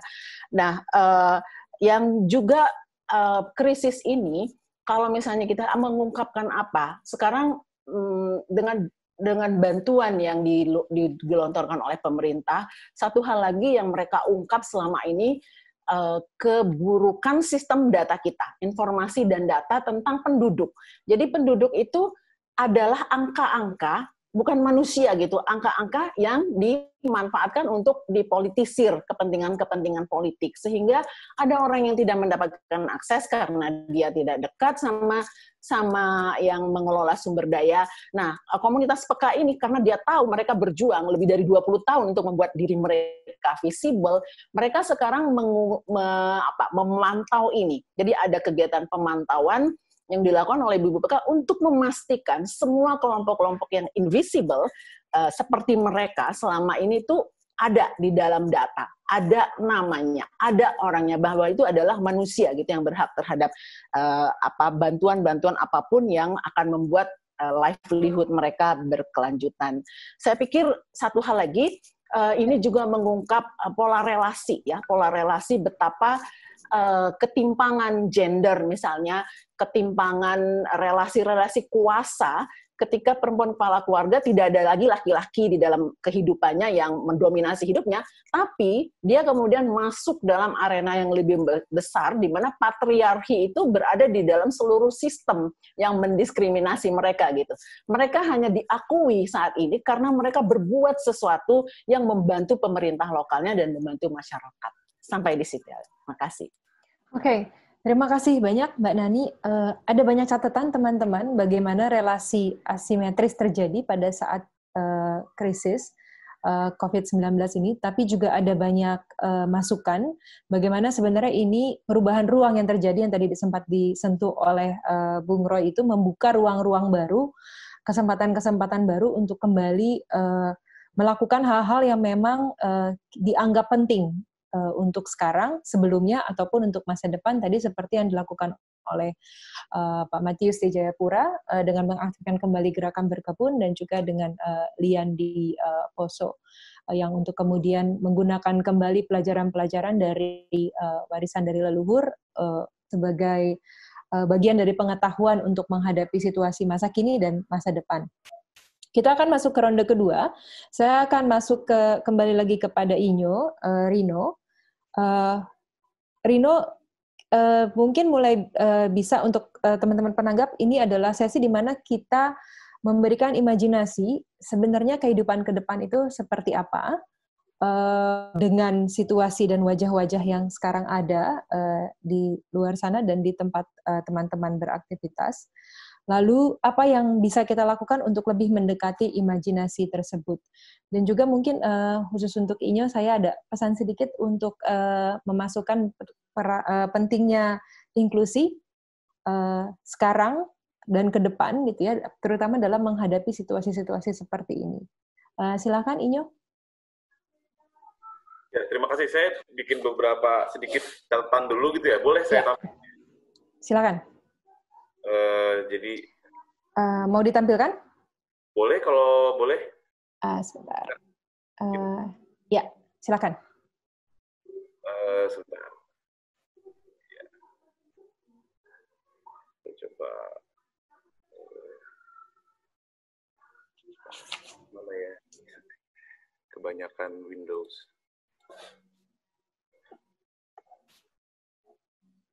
Kelihatan nggak? Kelihatan. Semoga teman-teman juga kelihatan ya. Ya, kelihatan, saya, kelihatan, kelihatan. Saya bisa lihat. Terima kasih, Bu. Terima kasih semuanya, Bapak Ibu sekalian. Ya, sebelum kita maju ke berikutnya mungkin ya. Tadi memang nampak sekali bahwa ternyata yang terekspos itu adalah uh, uh, ketimpangan, ya, uh, kerentanan, tapi juga ada ketangguhan, daya lenting, kelenturan, inovasi dan sebetulnya tadi mungkin referensi-referensi eh, inovasi inovasi di situ juga terkait juga misalnya pengetahuan baru ataupun lama sebetulnya yang dimodifikasi atau direproduksi gitu ya. Uh, ya ketimpangan contohnya sudah semakin banyak gitu dan uh, kerentanan juga kita bisa lihat dan sebetulnya dalam ketimpangan dan kerentanan itu ada relasi inequal ya yang yang baik melibatkan aktor-aktor yang yang yang yang uh, tadi disampaikan misalnya uh, saling berkonflik atau misalnya juga uh, justru saling mendukung gitu ya. Uh, jadi justru juga sebetulnya juga yang kita juga mengekspos sebetulnya menggali dan mendefinisikan kembali narasi-narasi tentang apa yang kita pahami sebagai tradisi, sebagai adat gitu ya, atau mungkin sebenarnya ini juga terkait dengan kenormalan gitu ya, apa yang sudah dianggap sebagai tradisi, sebagai adat. Tapi juga kita juga me, me, me, sebetulnya mengungkap uh, mempertanyakan kembali apa yang kita maknai selama ini sebagai spiritualitas gitu ya. Yang mungkin uh, setelah sekian lama kita memahami itu seba dalam satu konteks uh, institusi uh, religi gitu ya. Sehingga yang sangat sangat mudah di, di, di, dimanipulasi secara politik identitas misalnya dalam contoh-contoh yang tadi sudah disampaikan juga oleh Bung Roy dan Ibu uh, Liang Goli Liang Liang Lian Gogali juga tentang sains, tentang jadi sebagai bagaimana kita selama ini memahami sains, siapa sebetulnya yang punya otoritas untuk menentukan apa yang saintifik dan apa yang tidak gitu. Karena pada kenyataannya justru dalam kondisi seperti ini hal-hal yang kita anggap sebagai terbelakang gitu ya, eh, orang kampung, justru mereka yang paling bisa memahami punya daya lenting bukan cuma daya lenting sesaat tapi juga memprediksi dan me, me, hmm meng, me, apa namanya mengantisipasi apa yang mungkin terjadi di depan. Itu kan sebenarnya suatu pemikiran yang satu epistemo eh, cara berpikir uh, saintifik gitu ya. Eh, bisa dikatakan seperti itu dengan kosmologi dan lain sebagainya. Tapi juga tadi ada dis, ada distraksi-distraksi saya pikir ya konspirasi teori konspirasi saya sempat ngikutin itu untuk tahu sebetulnya apa yang ingin berkembang. Tapi justru sebetulnya saya malah lebih kontraproduktif karena uh, kalaupun kita tahu bisa me, me, me, me, menentukan siapa yang menyebabkan misalnya apa kita apa tanggung jawaban yang bisa kita ambil dari mereka nggak ada juga. Ini yang nggak produktif menurut menurut saya dan bahkan justru malah me, melemahkan inisiatif-inisiatif uh, solidaritas gitu ya. Dan juga tadi ruang-ruang uh, aman kontak-kontak fisik itu saya pikir juga kita me, me, kita mendefinisikan kembali mana yang kita maknai sebagai ruang aman gitu ya, yang tadinya eh, sawah jadi ruang aman dalam konteks ini, dalam konteks relasi tertentu, sekarang jadi nggak aman dan lain sebagainya. Eh, kalau secara antropologi mungkin sedikit gitu ya, bahwa sebelum kita masuk ke imajinasi gitu, saya pikir tadi banyak ada relasi-relasi yang terungkap antara apa yang eh, dalam konteks misalnya mode-mode relasi gitu ya, yang yang yang sifatnya simetrik ataupun asimetrik gitu ya kita bisa melihat bagaimana sebetulnya pola-pola uh, pertukaran gitu ya itu sebetulnya didasari oleh contoh-contoh tadi kenapa muncul barter saya pikir itu karena adanya relasi simetrik antara orang-orang kelompok-kelompok yang selama ini merasa bahwa kita ternyata punya satu problem yang sama kita secara struktural punya satu satu posisi yang sama gitu ya dan kesadaran itu muncul gitu kan tapi juga muncul juga negatif uh, asimetri dalam bentuk-bentuk predasi gitu ya. Saya, saya pikir ini juga satu kontinuitas yang mungkin jadi semakin terbuka sekarang.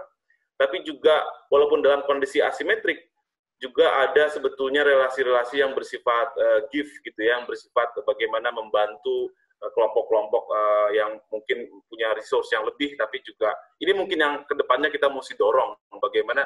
Tapi gift dalam konteks sebetulnya adalah uh, gift dalam arti uh, yang uh, long term ya bukan bukan bukan mutual aid gitu ya seperti mutuality of being gitu bukan sebagai satu bentuk charity gitu kan nah tapi juga kita bisa melihat sebenarnya ini juga terkait dengan hal-hal yang yang proses-proses produksi gitu ya bagaimana sebetulnya proses produksi kan kalau dalam uh, kita ini sebenarnya ini kasus diambil dari contoh bagaimana masyarakat Amazon melihat uh, kosmologi dia dengan antara manusia maupun dengan makhluk-makhluk selain manusia gitu ya jadi ada koneksi genetika gitu ya antara satu uh, bagaimana kita mereproduksi genetik, mereproduksi sumber daya dan lain sebagainya.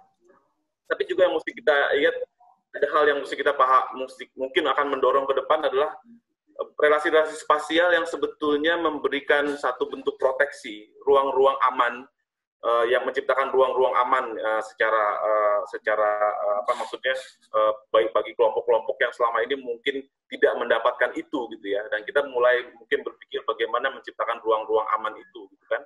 Dan bagaimana sebetulnya juga transmisi dalam temporal connection.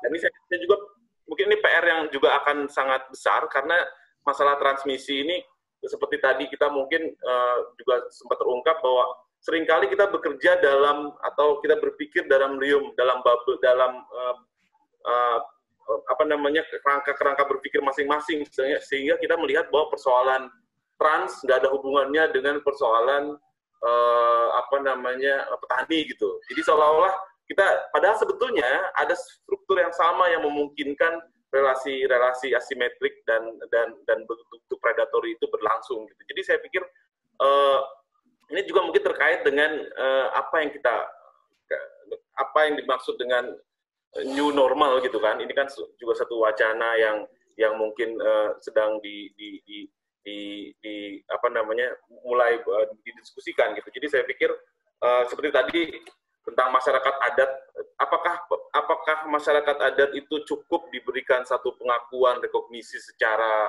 secara kultural gitu misalnya sedangkan tidak ada pengakuan secara ekonomi, sosial, budaya, termasuk juga ekspresi politiknya. Saya pikir ini jadi satu hal uh, politik yang dalam tanda kutip gitu ya, artinya uh, politik termasuk politik kita dalam uh, berrelasi dengan ruang dan lain sebagainya. Jadi jadi mungkin itu mungkin uh, untuk ke depan saya pikir uh, penting untuk menciptakan satu uh, apa namanya uh, seperti contoh tadi kalau di Baduy lockdown itu buat orang Baduy sesuatu yang rutin ya. Mereka punya satu mekanisme di mana empat bulan sekali menutup diri gitu ya uh, untuk bersih desa dan lain sebagainya. Jadi saya pikir itu juga satu bentuk otonomi dari ekspresi uh, budaya gitu ya yang perlu juga mendapatkan satu uh, uh, pengakuan dan, dan ruang aman.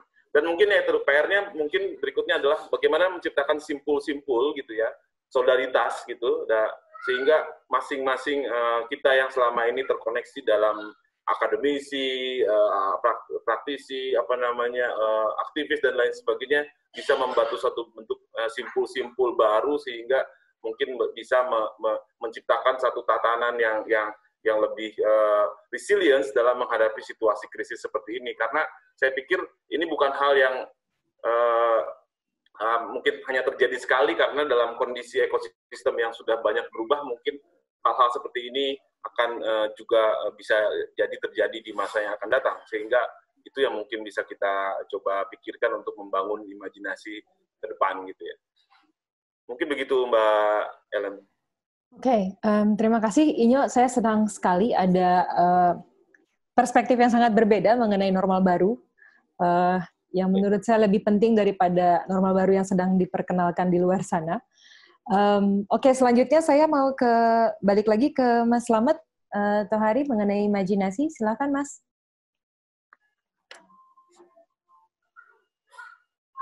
Uh, sharing screen-nya uh, ini mungkin bisa di stop dulu. Ini gimana caranya ya? Saya lagi. Ada di atas itu ada uh, hijau dan merah, itu ada stop share.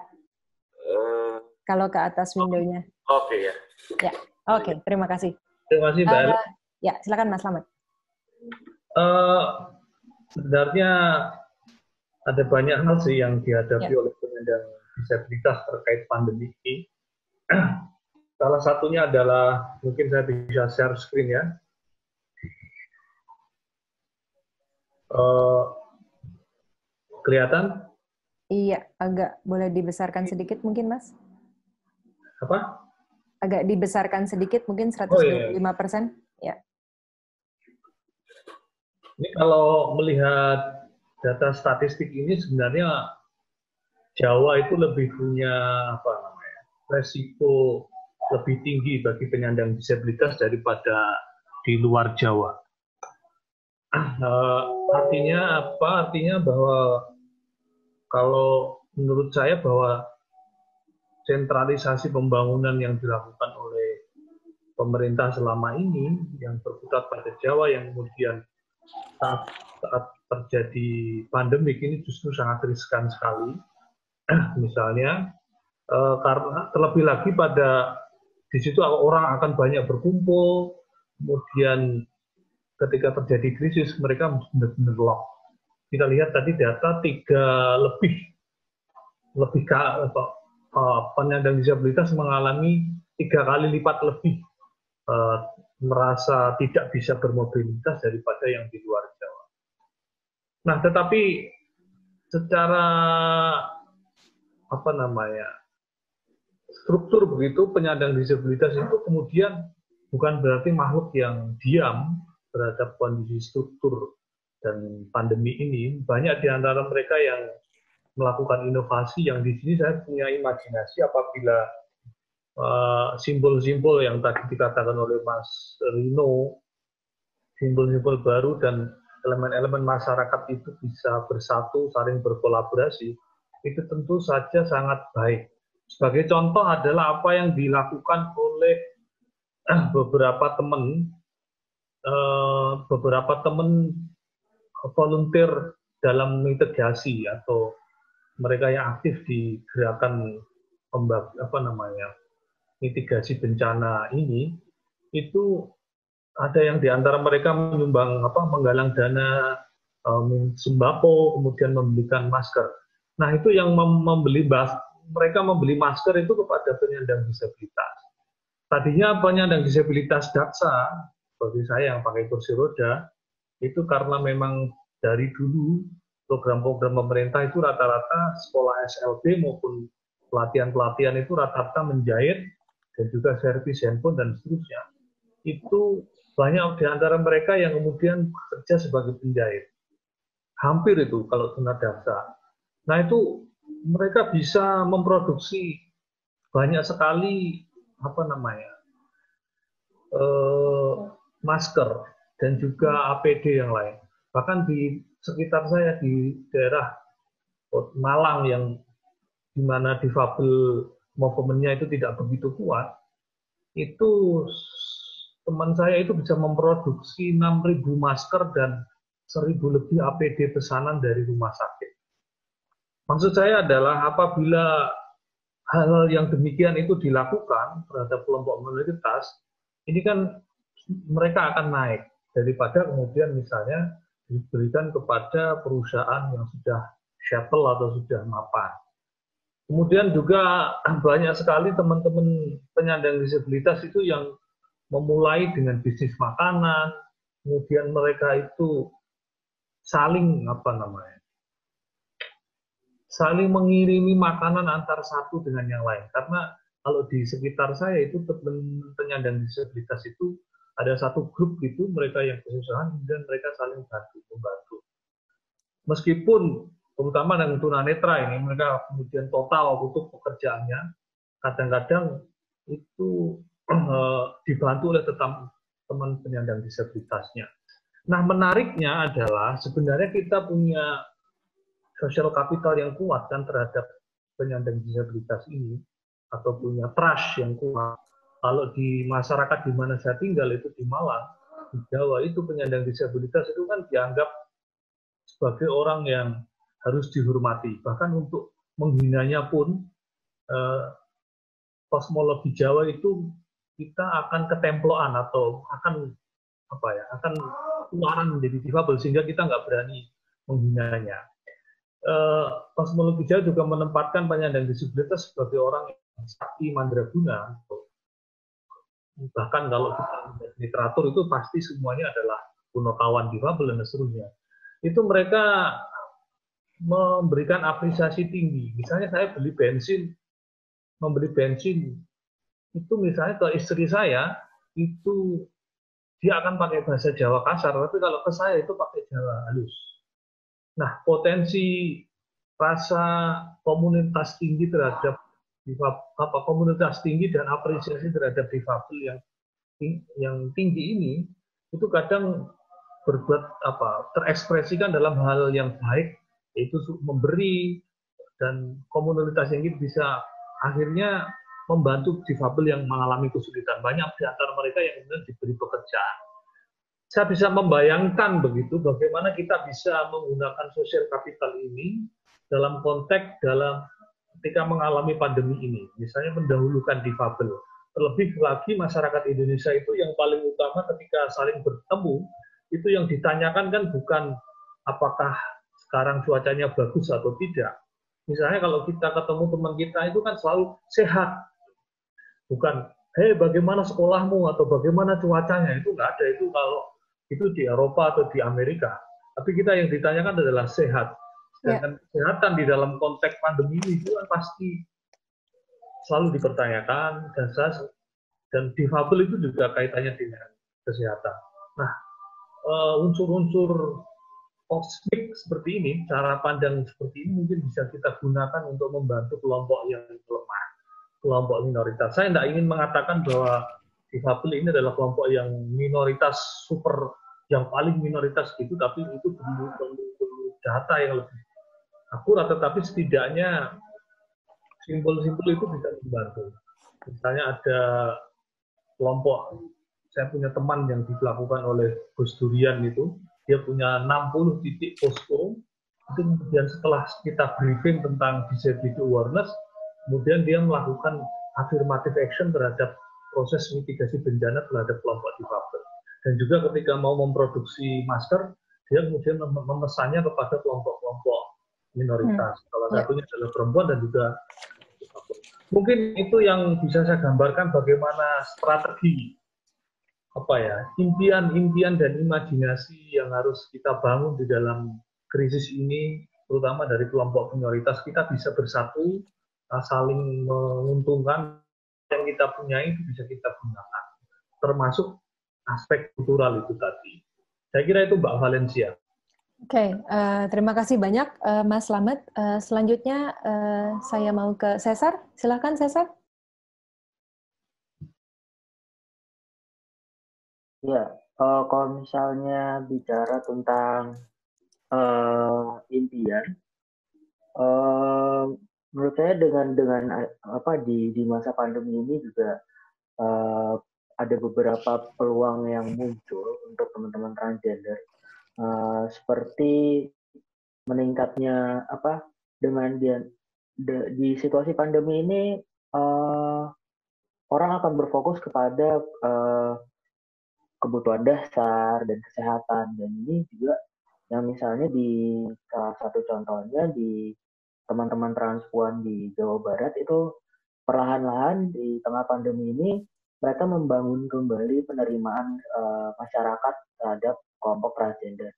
Uh, apa yang mereka lakukan misalnya dengan uh, membagikan masker ke uh, pengendara yang lewat atau masyarakat sekitar yang tadinya uh, masyarakat memandang mereka sebelah mata, perlahan juga uh, dengan ada interaksi dengan pembagian masker ini mereka uh, jadi punya obrolan ke, uh, terhadap eh, dengan masyarakat sekitar ini yang memunculkan penerimaan. Uh, dalam konteks impian ini sebenarnya harapan teman-teman transgender itu terhadap penerimaan bukan berarti masyarakat harus menerima tentang uh, atau sepakat dengan transgender, tapi bagaimana menerima sebagai manusia. Sebenarnya harapan kita nggak muluk-muluk yang sampai semua orang uh, apa bisa menerima seutuhnya, tapi at least di situasi sekarang bisa menerima kami sebagai manusia dan memanusiakan kami. Itu terus uh, selain itu uh, di situasi pandemi ini uh, banyak alternatif ruang aman baru dan peluang untuk meningkatkan kestabilan hidup untuk teman-teman transgender. Nah, misalnya ada beberapa kolektif seperti uh, kalau di Jakarta ada kelompok Jakarta dan di beberapa kota itu ada inisiatif dari teman-teman klub bahasa uh, yang teman-teman LGBT yang awalnya mereka mengumpulkan donasi uh, dan mereka sadar bahwa donasi itu enggak selalu terus-menerus akan tetap stabil jumlahnya. Jadi dari sebulan atau dua bulan lalu mereka sudah mulai memikirkan bagaimana si donasi atau dana yang sudah terkumpul ini juga bisa membantu mereka, uh, membantu terutama kelompok teman-teman transgender untuk bertahan hidup uh, setidaknya sampai pandemi berakhir dan kita nggak tahu kapan gitu. Syukur-syukur itu bisa berlanjut ke uh, waktu setelah pandemi juga. Salah satu inisiatif yang mereka lakukan adalah meningkatkan kepercayaan diri teman teman-teman transgender ini untuk uh, menggali potensi yang ada di diri mereka. Misalkan ada yang hobi uh, bikin kue, jadi mereka diajarin untuk bisnis kecil-kecilan dan menjual uh, apa namanya kue-kue uh, yang mereka hasilkan. Uh, terus juga misalnya di kalau di teman-teman transgender laki-laki atau trans pria ini juga karena kebanyakan teman-teman trans pria terutama di kota-kota besar ya itu bekerja sebagai uh, ojek online atau jadi supir uh, kendaraan ini terbentuk juga kerjasama dengan teman-teman allies atau sekitar teman-teman jaringan sekitar mau itu LGBT atau masyarakat itu yang misalnya yang punya usaha uh, apa namanya online untuk makanan atau apa, nah mereka yang jadi jasa antarnya. Dan dari hal-hal kecil ini yang juga menimbulkan uh, percakapan dan uh, kedekatan sosial yang ya mimpinya sih uh, lebih luas lagi nanti uh, tingkat penerimaan masyarakat. Itu dari aku. Ya.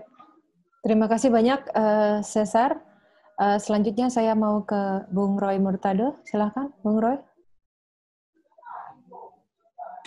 Terima kasih Mbak uh, Valencia. Saya sebenarnya mau sedikit saja uh, nambah yang tadi sudah saya sampaikan. Ini momentum ada ada kerawanan tadi disinggung Mas Inyo, juga ya. ada potensi, ada situasi panik, tapi juga ada situasi yang membuat kita punya harapan.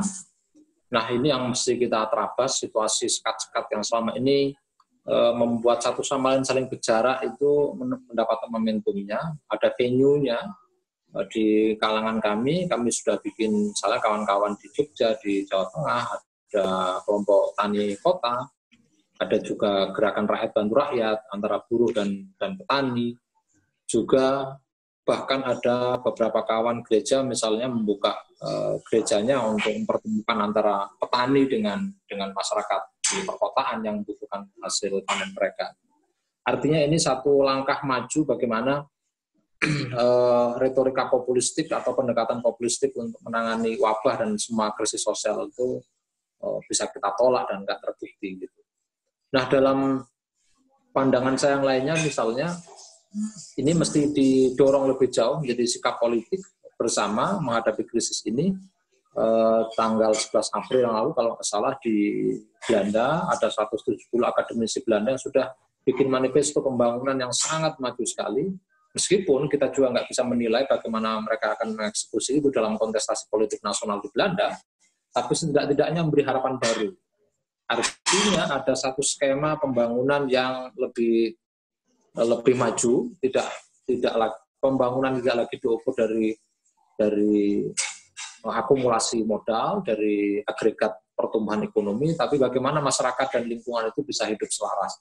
Nah, di Indonesia saya kira sejak tahun 80-90 para aktivis semua di, di isu yang saya geluti di isu agraria sama ekologi misalnya sudah sangat maju sekali cuman ini belum menjadi pandangan politik bersama sikap bersama mendorong pemerintah untuk jauh lebih maju ketimbang ketimbang sebelumnya meskipun dalam situasi uh, globalnya memang nyaris nggak mungkin, tapi bisa kita lihat misalnya kalau benar-benar terjadi dalam jangka yang sangat panjang, uh, ini ini akan menjadi sangat uh, mengerikan dalam konteks Indonesia.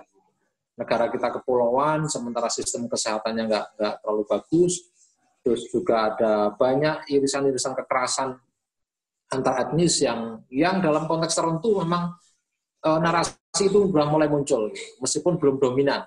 Tapi ini kan kalau yang saya ikuti di di kelompok-kelompok yang saya ikuti yang beririsan dan mereka sudah ada. Biasanya uh, memang sejak awal memunggungi temuan-temuan saintifik terhadap virus. Ini virus dibikin begini, ini disengaja untuk menyerang kelompok Islam. Karena mereka nggak tahu bahwa sebenarnya Vatikan juga berhenti, nggak ada ibadah di Vatikan. Tapi ini propaganda ini cukup efektif di, kelompok-kelompok masyarakat di perkotaan yang memang sejak awal mereka ini sudah tersekat-sekat oleh berbagai macam hal. Ruang-ruangnya sudah sudah sudah sudah terbelah satu sama lain. Nah, mudah-mudahan momentum ini bisa kita manfaatkan untuk menuju sesuatu yang lebih baik, solidaritas yang yang benar-benar inklusif dalam konteks yang jendik tadi itu dengan alam dan masyarakat lainnya. Terima kasih, Mbak Valencia. Terima kasih banyak, uh, Gus Roy. Uh, saya mau masuk ke Pak Bupati, Pak Matias. Um, silakan Bapak bisa berbagi untuk imajinasinya ke depan, Pak. Terima kasih. Mbak, ini uh, saya melihat uh, memang Papua ini dia agak sedikit uh, apa ya, agak spesial apalagi kami dalam suasana otonomi khusus, ya.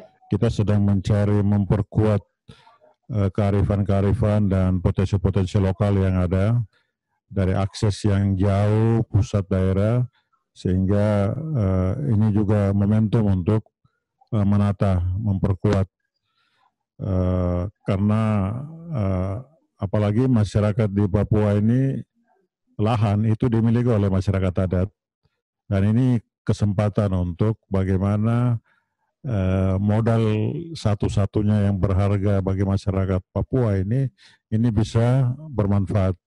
Dan selama ini memang dengan adanya eh, program-program yang gencar ini juga membawa keluar dari eh, kemandirian itu. Jadi saya melihat bahwa ini momentum untuk terus kita akan memperkuat dan saya juga di sini sudah diskusi dengan Rektor Uncen dan kami coba membangun uh, tim untuk melihat ini lebih jauh uh, bagaimana kita bisa uh, membangun kemandirian, membangun kekuatan lokal yang ada. Uh, saya saya melihat bahwa ada sisi positif dari situasi ini. Dan saya berterima kasih mendapat banyak uh, masukan juga informasi-informasi penting dari teman-teman. Uh, tadi banyak menyampaikan hal-hal yang benar bahwa memang ini membuka ruang baru uh, kolaborasi yang luar biasa untuk bisa membangun satu sama lain. Uh, tidak ada sekat-sekat yang membatasi kita. Jadi ternyata ini menjadi uh, apa ya informasi-informasi yang penting untuk terus kita akan membangun uh, masyarakat bahwa di teman-teman lain di sana juga sedang memikirkan hal yang sama juga dan lebih luas lagi. Saya pikir itu saja. Uh, terima kasih. Uh, mungkin saya harus sudah setengah delapan sini. Oh iya, baik Pak. Uh, mungkin saya harus pamit. Ya. Uh, saya menyampaikan terima kasih dan terus semangat dan terus berjuang ya. Terima kasih banyak sekali uh, Pak Bupati. Kasih, uh, akan Bupati. pamit duluan. Um, semoga nanti kontak teman-teman uh, kami akan kirimkan juga melalui Pak Gustaf. Siapa tahu nanti bisa uh, berdiskusi lebih lanjut kalau ada informasi yang dibutuhkan dari teman-teman uh, uh, narasumber di sini. Baik, terima, terima kasih ya. Ya, terima kasih, terima kasih banyak Pak Bupati, Pak Gustaf dan uh, tim di sana. Terima kasih. Selamat malam, Pak. Malam. Oke, okay, uh, dari Jayapura uh, saya kembali lagi menuju Lian di Poso. Imajinasinya Lian, silakan. Ya, uh, terima kasih banyak Mbak Ellen. Jadi uh, kami kan mengembangkan radio komunitas. Uh, radio komunitas ini bisa didengarkan juga melalui streaming dan juga didengarkan di beberapa desa, sekitar 20-an desa, 25 desa di Kabupaten Poso. Um, dalam wawancara kami adalah mereportasi langsung yang disampaikan oleh banyak uh, perempuan dari berbagai desa. Mereka punya kesimpulan yang sama bahwa wabah ini dihadapi oleh semua orang lintas lintas lintas lintas semua batas begitu. Dan karena itu mereka juga sepakat bahwa cara mengatasinya pun juga bersama-sama harus harus bersama-sama tidak bisa hanya uh, oleh satu orang atau satu agama dan seterusnya. Nah di Poso itu kan sebenarnya ada uh, kata yang sangat uh, kami uh, kenal dan menjadi bagian dari cara kami hidup sebenarnya namanya musintuwu. Uh, musintuwu itu dalam bahasa Pamona artinya uh, bekerja bersama-sama tanpa memikirkan uh, imbalan apa yang akan kita terima untuk kepentingan dan kebaikan bersama. Lalu ada juga seruan yang uh, yang kami uh, juga selama ini uh, kuatkan itu adalah seruan Pakaroso. Pakaroso itu artinya saling menguatkan gitu. Jadi uh, kita, dua kata ini menurut kami menjadi sangat penting untuk bisa mengimajinasikan uh, masa depan bersama-sama bahwa kita harus bersama-sama melakukannya dan harus saling menguatkan uh, satu sama lain tanpa kemudian dibatasi pada kategori-kategori yang uh, yang selama ini dilekatkan pada khususnya pada masyarakat Poso yang kategori-kategori yang melekat itu kan agama, kemudian suku dan seterusnya. Nah, bagaimana menurut menarik kemudian adalah bagaimana bisa kita melakukan atau memungkinkan hal tersebut di atas. Uh, dalam perjalanan kami karena um, kita punya ekspedisi poso, tapi kita juga melakukan uh, pengorganisasian di 80-an desa dan posko saling jaga. Sekarang kita itu ada di 104 uh, desa di uh, kabupaten dan kelurahan Poso. Uh, itu uh, menarik untuk kemudian masing-masing desa itu ternyata mulai melihat kembali sejarah kampung mereka. Karena ternyata dalam dalam banyak cerita orang tua itu sebenarnya uh, yang namanya wabah, yang namanya sejarah uh, konflik dan sejarah uh, perpindahan antara satu kampung dan kampung yang lain itu pasti ditandai oleh dua hal. Entah itu bencana alam, wabah atau konflik kayak gitu. Nah, sejarah ini perlu ternyata dianggap perlu untuk kemudian digali kembali dan kemudian berefleksi bersama-sama untuk melihat bagaimana kemudian warga uh, belajar mengatasi dan meng mengadaptasi dengan konteks mereka uh, saat itu. Yang kedua yang menarik juga dalam uh, percakapan kami kalau bicara tentang imajinasi bekerja bersama-sama dan juga saling menguatkan ini adalah uh, penting sekali untuk membangun konsep pembangunan yang jadi kan selama ini kan ada uh, apa namanya RP dan macam itu kan uh, habis eh, semua urusan di birokrasi administratif kayak gitu ya. Nah, uh, da, sebenarnya kalau misalnya mengacu pada sejarah desa, lalu mengacu pada usaha kita memetakan bumi yang kita tinggali, kemudian kita sadar di situ ada sesar, di situ ada endemik, di situ ada uh, semua kekayaan alam yang kita punya, maka ada kesadaran harus ada kesadaran bersama dan kita harus membuat pembangunan RPJMDes itu pertama-tama harus berakar pada kesadaran untuk bersolidaritas pada alam. Karena pada akhirnya lah pada semua pengalaman pengalaman buruk yang yang biasanya dihadapi bergenerasi di wilayah itu alam yang kemudian bisa membantu kita. Tetapi pada saat yang bersamaan kalau misalnya kebijakan pembangunannya juga tidak bersolidaritas pada alam maka ya hampir secara otomatis kita tidak bisa terbantu sama yang lain. Nah, pemik kampung lalu kemudian uh, bagaimana bisa merancang pembangunan yang bersolidaritas dengan alam menurut saya bisa sampai pada pemikiran bersama untuk kemudian bicara tentang kedaulatan, eh, kedaulatan atas uh, tanah, kedaulatan atas air, kedaulatan atas kebudayaan dan seterusnya. Uh, karena kemudian kita sadar betul ketika proses uh, proses menangani uh, COVID-19 ini dari pengalaman kami di 104 desa dan kelurahan, um, semua orang kemudian bergantung pada bagaimana mereka uh, mereka punya apa di desa seperti itu. Mereka punya apa di desa dan bagaimana mereka mengolahnya selama ini. Jadi uh, uh, sehingga kemudian tidak tidak tergantung lagi pada bantuan yang kisru dengan semua data dan seterusnya. Saya rasa dengan cara begitu kita bisa uh, apa ya? Ada semacam uh, restart ya restart hmm. saya tidak tahu apakah ini kalimat yang tepat untuk mengatakan tapi uh, kalau kita udah low apa ya udah terlalu padat dengan semua uh, kebijakan yang tidak berpihak pada alam dengan uh, birokrasi yang uh, uh, apa namanya korupsi dan segala macam maka kita harus restart gitu. Sehingga kita memberikan kesempatan pada kita sendiri untuk belajar dari sejarah tapi kita juga memberikan kesempatan pada alam untuk uh, apa namanya uh, untuk berbicara kepada kita dengan cara dengan cara mereka. Saya rasa itu yang yang bisa saya sampaikan. Makasih. Oh ya, yang, yang terakhir, um, karena kami bekerja dengan kelompok-kelompok perempuan sama seperti Mbak Nani, uh, di uh, kami membangun yang namanya Sekolah Pembaharu Desa. Sekolah Pembaharu Desa itu memang punya cita-cita untuk membaharui desa, karena kita merasa bahwa uh, desa udah um, cukup sakit ya selama ini dengan semua eh, kebijakan-kebijakan, uh, tapi juga uh, eksploitasi uh, yang uh, berlangsung baik dalam bentuk kebijakan maupun juga dalam bentuk material terhadap alam yang ada di sekitar mereka. Saya rasa uh, membaharui uh, desa itu memberikan kesempatan pada kita untuk juga uh, menghadapi masa depan yang kita yakin mungkin wabah ini bukan yang yang terakhir di generasi uh, manusia kayak gitu. Terima kasih. Ya, terima kasih Lian. Uh, dan yang uh, selanjutnya uh, Mbak Nani. Tapi sebelum ke Mbak Nani, uh, kita akan masih ada punya waktu sedikit teman-teman uh, mungkin untuk satu atau dua pertanyaan. Uh, silakan bisa uh, apa namanya bisa diketik di ruang chat untuk nanti saya bisa uh, apa masukkan ke teman-teman. Uh, silakan Mbak Nani.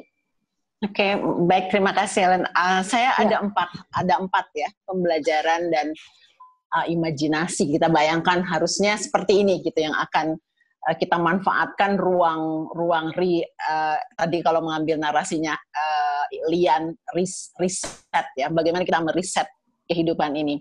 Yang pertama bag, uh, menghidupkan, memperkuat sistem-sistem berbasis komunitas. Jadi itu uh, pengalaman kita dengan peka yang terorganisir itu benar-benar bisa membantu gitu me, me, memperkuat daya lenting kelenturan dari komunitas-komunitas peka dan komunitas-komunitas marginal lainnya untuk bertahan gitu untuk bertahan dan bahkan berbuat sesuatu. Jadi penting banget menghidupkan ini.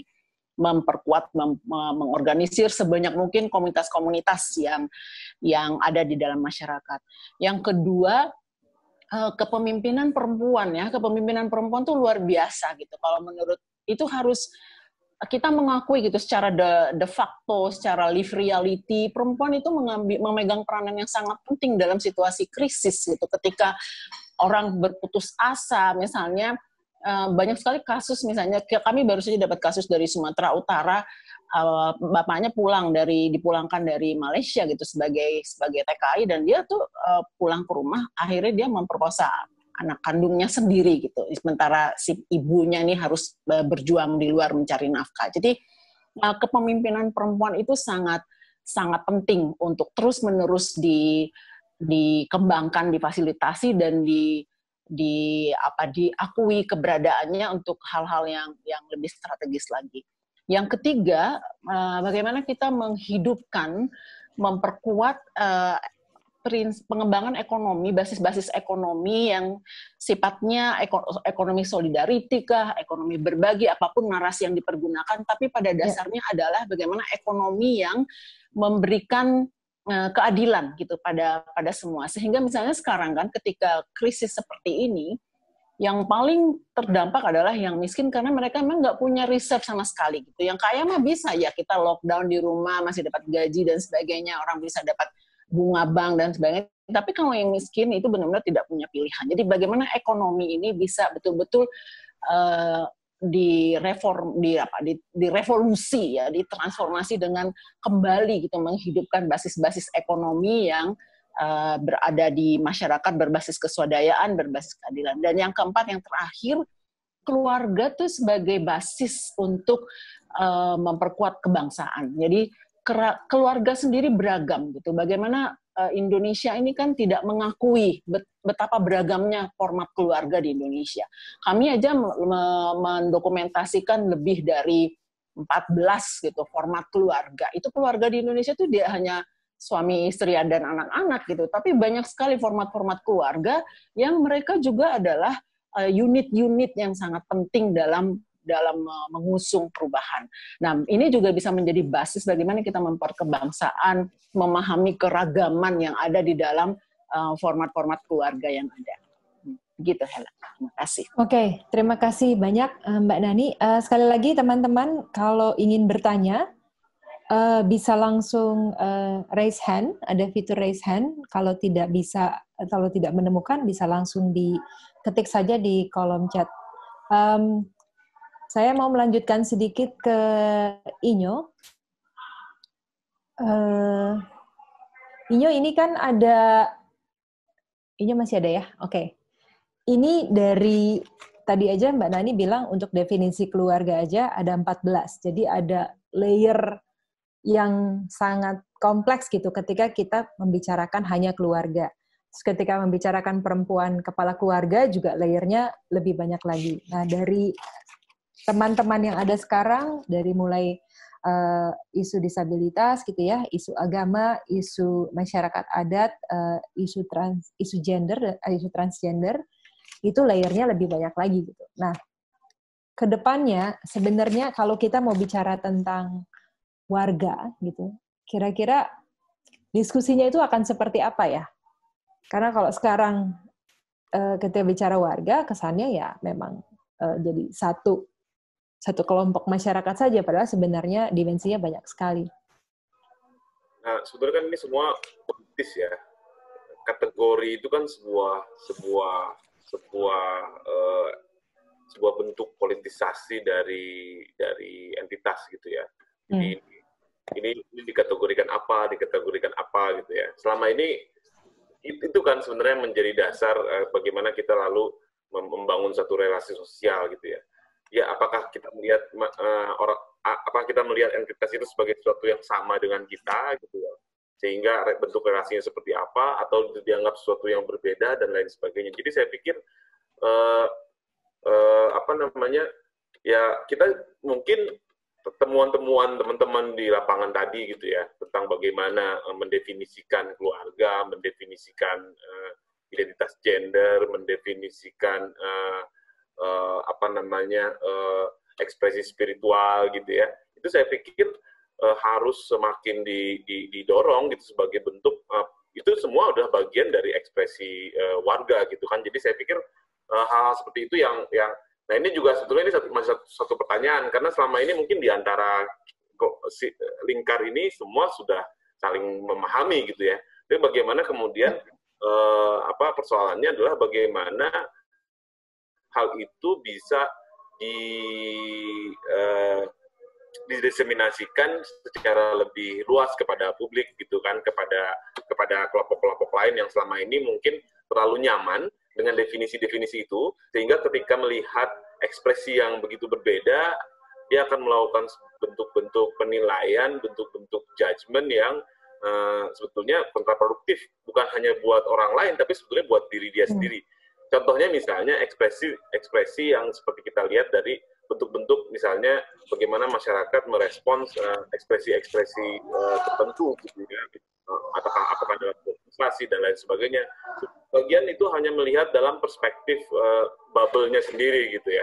Nggak melihat bahwa itu adalah satu satu satu satu ada ada ada kesamaan sebetulnya ada ada antara apa yang dia melekat dengan dirinya dengan apa yang uh, ada di, di jadi sebetulnya juga tadi uh, sebetulnya Bung Roy, Ibu Nani, uh, Mbak Liang dan dan teman-teman yang lain uh, sudah men, uh, sudah memberikan saya pikir eh, contohnya sangat uh, baik gitu bahwa sebetulnya uh, diversitas apa namanya keragaman itu bukan cuma keragaman agama, keragaman suku seperti yang uh, selama ini dinarasikan dalam dalam uh, diskusi umum gitu ya, tapi sebetulnya keragaman berbagai bentuk ekspresi gitu ya, ya masuk.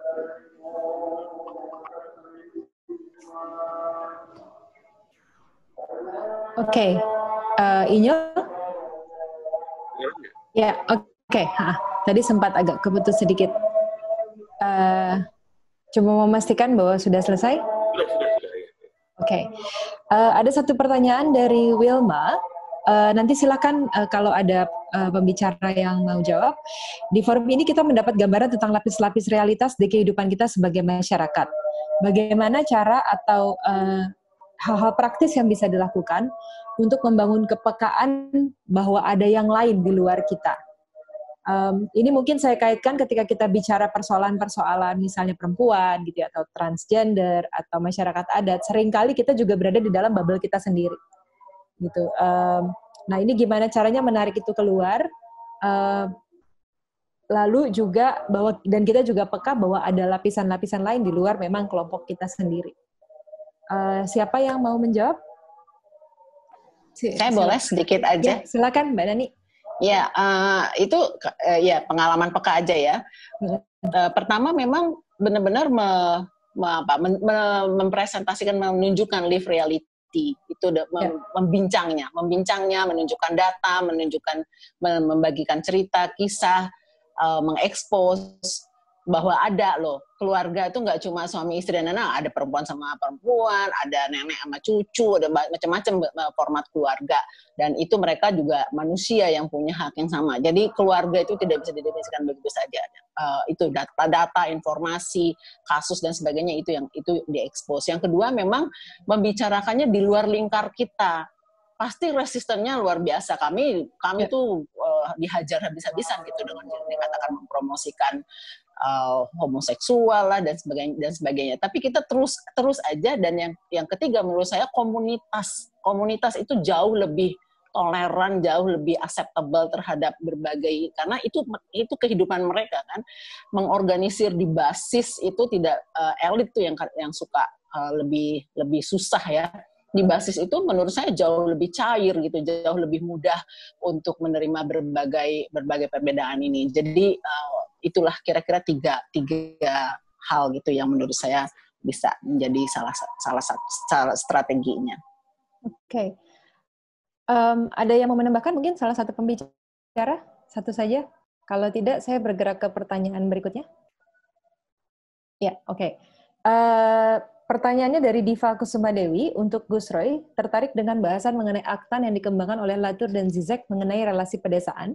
Apakah bisa dijelaskan kembali? Karena menurut Diva, jangan-jangan konsep new normal adalah konsep orang kota, sedangkan untuk orang-orang di desa, COVID-19 adalah refleksi untuk kembali ke tradisi, di mana tradisi ini sebenarnya melahirkan sosial kapital yang besar dan keselarasan ekosistem. Mungkin nanti setelah Gus Roy, uh, Lian mungkin mau membantu menjawab?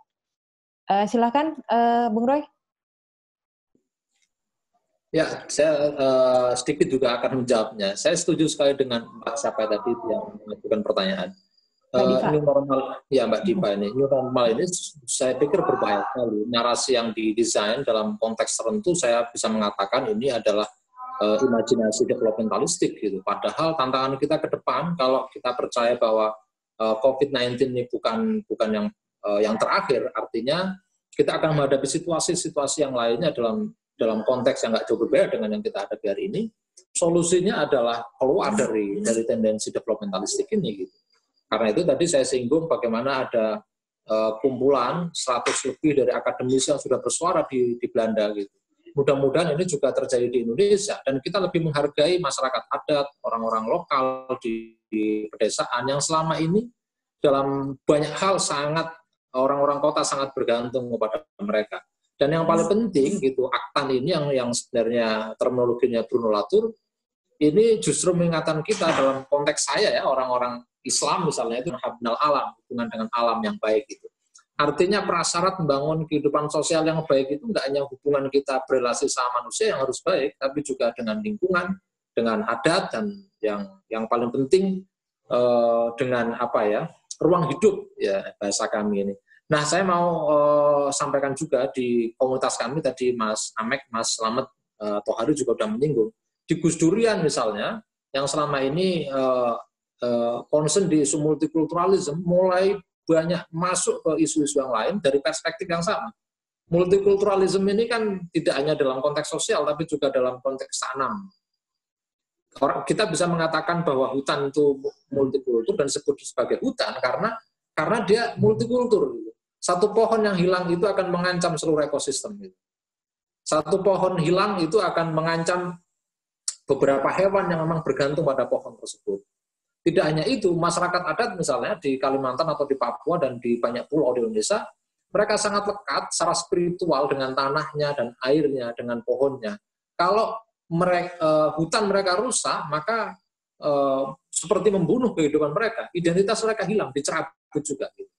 Nah ini yang perlu kita dorong, karena Gus Durian sendiri kemarin uh, ada 10 rekomendasi yang ditawarkan yang didorong kepada pemerintah. Salah satunya adalah pembangunan yang menjaga lingkungan, yang yang menjaga keberlangsungan hidup seluruh semuanya. Ya. Jadi saya kira itu imajinasi perkotaan dan uh, tendensi developmentalistik. Terima kasih. Terima kasih Bung Roy. Silakan Lian. Iya, uh, pertama uh, dari kalau, kalau dari pengalaman kami di desa gitu ya, semua pilihan bahasa yang digunakan oleh pemerintah pusat itu sangat jauh sekali hmm. dengan apa pun yang kami bayangkan di sini. Yeah. Bukan cuma dari segi bahasa, tapi juga dalam uh, dalam uh, pen, uh, penerjemahannya. Gitu. Misalnya sejak awal, sejak awal diumumkannya uh, wabah COVID-19 ini, ketika pilihannya adalah misalnya menggunakan kata physical distancing, lalu social distancing itu tidak ada dalam kamus dan pemahaman uh, kami, sehingga kami merasa bahwa ini bukan cuma soal uh, konsep orang kota, tapi konsep yang menjauhkan identitas gitu. Bukan kami dari identitas uh, identitas kita dan itu uh, sebenarnya juga menjauhkan menjauhkan kita dari dari alam dari apa pun harus saja dilakukan justru dalam proses penanganan uh, uh, 19 ini. Jadi dia bukan hanya dalam konteks uh, pembangunan, tetapi juga dalam konteks identitas yang uh, sebenarnya sedang dilakukan sekarang itu adalah identitas untuk kembali pada alam, identitas untuk kembali pada uh, kebudayaan dan uh, dan seterusnya. Jadi uh, sampai sekarang ini kami juga masih sedang uh, kebingungan untuk kemudian kemudian ketika kami ditanya karena banyak dengan orang ibu-ibu desa yang uh, yang kita bicara dalam konteks uh, sekolah pembaru desa ketika mereka ditanyakan apa new normal uh, bagaimana kita bisa masuk pada isu new normal sementara yang dianggap normal saja sekarang itu uh, sesuatu yang uh, uh, uh, uh, membingungkan dan dan semakin semakin menjauhkan orang dari identitas dirinya sebagai baik baik dia sebagai orang desa maupun orang yang punya tanah, punya air, punya uh, punya lingkungan dan punya ekosistem di, di sekitar. Yang kedua menurut saya bukan menjauhkan pada identitas tapi juga menjauhkan or, uh, menjauhkan uh, manusia dengan ekosistem uh, yang ada di sekitarnya karena yang dibicarakan uh, yang dibicarakan dalam konsep new normal itu ada semua tata aturan tentang bagaimana bagaimana bekerja, bagaimana uh, bagaimana melakukan semua aktivitas, tapi tidak bicara sama sekali tentang bagaimana kita uh, bersolidaritas tentang alam, bagaimana kita kembali pada uh, hal-hal uh, yang ada di sekitar kita. Diabaikan sama sekali. Jadi ya, gitu. Oke, okay, terima kasih Lian. Menyambung itu sedikit, saya mau terakhir ke Cesar.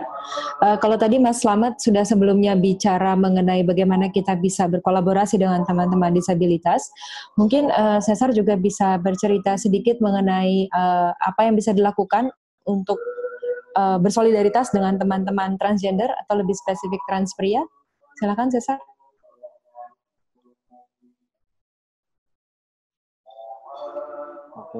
Uh, ya. Untuk kolaborasi dengan teman-teman transgender, uh, terutama trans pria, uh, saat ini yang terpenting adalah memperluas, uh, memperluas juga untuk uh, apa namanya uh, kelompok pendukung atau support system.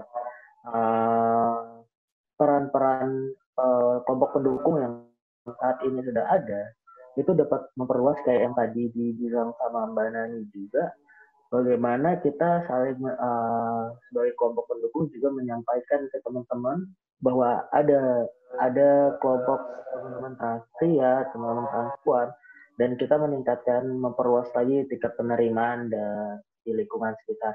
Pertama itu dulu.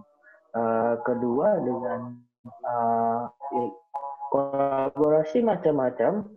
Misalkan yang tadi bagaimana uh, ketika teman-teman transgender ini akses untuk pendidikan, untuk uh, pekerjaan ya, uh, terus untuk hak uh, perlindungan hak yang lain itu kan sangat tinggi karena uh, dari kecil kita dipandang berbeda dari ekspresi dianggap berbeda. Nah dengan adanya kelompok uh, kol apa kelompok dukungan uh, dari lingkungan sekitar ini juga bisa jadi saling membantu dari uh, seperti tadi contohnya bagaimana lingkungan sekitarnya sharing tentang uh, bikin usaha kecil-kecilan pemberdayaan ekonomi lalu uh, bisa sharing satu sama lain tentang uh, apa namanya membantu untuk memenuhi hak-hak gitu.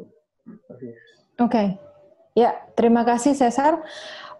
Teman-teman, um, kita sudah sampai di penghujung diskusi. Saya mau mengucapkan terima kasih yang tak terhingga kepada seluruh narasumber uh, kita pada malam hari ini. Saya merasa beruntung sekali bisa memfasilitasi uh, para narasumber sekalian. Um, seperti ini sudah ini disimpulkan dengan sangat baik oleh Mbak Nani di uh, chat. Seluruh narasi terkait COVID memang sangat bias urban dan kelas sehingga tidak relevan dengan sebagian besar masyarakat Indonesia. Benar sekali, dan kami berharap diskusi malam ini bisa membukakan itu. Ini adalah lapisan-lapisan warga yang sering kali tidak masuk, tidak terinklusi di dalam narasi-narasi besar uh, di tingkatan nasional. Um, dan berharap juga sebenarnya uh, ke depan uh, ini bisa membantu menumbuhkan kepekaan kita mengenai yang lain dan membuat kita ingin terus belajar untuk bagaimana melatih uh, ya kepekaan dan solidaritas. Um, pesan sponsor sedikit uh, ke Inyo karena sebagai akademisi mungkin kalau ada waktu uh, boleh membantu menuliskan narasi yang kita kita uh, dapat malam ini karena menurut saya cerita-cerita ini sangat uh, jarang didapat dalam satu forum yang beragam seperti ini. Biasanya kembali lagi forumnya itu sangat spesifik, teman-teman berada di dalam forum masing-masing. Jadi kalau uh, bisa membantu Inyo, uh, kami akan sangat senang sekali. Uh, nanti kita bisa ngobrol dengan The Uh, kita bisa menuliskan di sana juga. Kita tulis Terima kasih. Kolaboratif. Kenapa? Kita tulis secara kolaboratif, jadi mungkin boleh. Silahkan. Dengan Google Docs gitu kita buka secara kolaboratif. Ya. ya. ya. Mungkin, mungkin ada beberapa Bung Roy yang bisa jadi editor gitu kan? Ya, sebagai penulis ya. dan editor Islam bergerak dan ya. Indo Progress. Uh, ya. Kolaborasi, jadi ya. dibuat dibuat terbuka gitu, jadi kita bisa ya. saling isi uh, apa uh, masing-masing poin-poin yang jadi concernnya ya. gitu. Iya, benar sekali. Ya, setuju sekali. Ya. Menarik. Ini ya, hanya setuju. ini hanya sebagian kecil dari cerita banyak lagi lapisan warga yang uh, tidak terinklusi di dalam narasi uh, apa pun itu ya ketika kita bicara uh, narasi di tingkat nasional. Uh, jadi harapannya mungkin nanti setelah tulisan ini bisa ada narasi-narasi lain yang muncul. Dan mohon maaf teman-teman karena memang keterbatasan, keterbatasan waktu kita tidak bisa lebih mendalami situasi-situasi masing-masing. Tapi berterima kasih sekali juga untuk kesabarannya dengan format uh, fishball ini. Um, nah selanjutnya saya akan ada beberapa pengumuman obrolan warga minggu depan, ini kita akan bicara kesehatan. Jadi setelah kita bicara mengenai uh, universal basic income, mengenai internet, kemandirian pangan, lalu uh, hmm. sekarang mengenai relasi dan inklusi, kita akan bicara mengenai kesehatan sebagai common good. masih di jam yang sama, hari Rabu, uh, jam 4 sampai jam 6. Uh, karena ini banyak sekali persoalan dengan masalah akses kesehatan yang juga tidak merata untuk semua. Um, selanjutnya, nah kami juga bersama Humanesia besok malam akan uh, ada diskusi itu titik terang. Itu setiap hari Kamis jam 7 malam sampai jam setengah 8 untuk khusus untuk yang besok malam itu judulnya adalah kiat mengurus anak semasa pandemi karena ini juga tantangan tersendiri.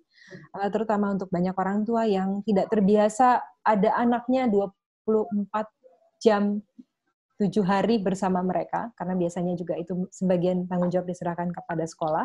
Silakan mendata, mendaftar di uh, bit.ly uh, garis miring diskusi titik terang. Uh, nah ini program lab tanya yang teman-teman juga bisa ikuti. Nanti informasi-informasinya bisa didapatkan di Instagramnya. Ini adalah salah satu yang sangat penting, kontak para narsum kita malam ini. Silakan dicatat, uh, kalau memang nanti ketinggalan, bisa dibuka lagi, dilihat lagi di Facebook. Uh, kalau ingin mendalami lebih banyak tentang isu-isu yang tadi mereka bagikan, uh, silakan uh, hubungi ke kontak ini. Dan terakhir, ini adalah kontak para penyelenggara Apabila ada masukan, pertanyaan, dan lain-lain, uh, silakan juga kontak kami ke sana. Uh, jangan lupa, di dua diskusi terakhir, uh, nanti kami akan berikan pengumuman di Instagram kami, uh, baik Lab Tanya uh, dan Kekini. Uh, bagaimana kita akan melakukan proses ideasi. Uh, saya harap juga kalau teman-teman uh, narasumber bisa ikutan, itu akan baik sekali. Jadi idenya adalah uh, kita ingin uh, seluruh diskusi-diskusi dan penawaran-penawaran imajinasi-imajinasi yang sudah dibagikan oleh teman-teman narasumber sepanjang obrolan warga. Jadi akan ada sekitar 9 episode itu. Itu akan kita tuangkan ke dalam tulisan. Dan itu kita bisa jadikan penawaran kepada kelompok warga di mana pun uh, dan juga uh, kepada uh, pembuat kebijakan. Semoga dari sini juga teman-teman bisa terkoneksi satu sama lain dan kita juga makin peka bahwa ada banyak uh, kelompok warga yang mungkin kita tidak tahu sebelumnya. Nah, semoga diskusi ini bisa membukakan akan hal itu. Ya, um, saya tidak intinya akan mengucapkan terima kasih kembali ke semuanya.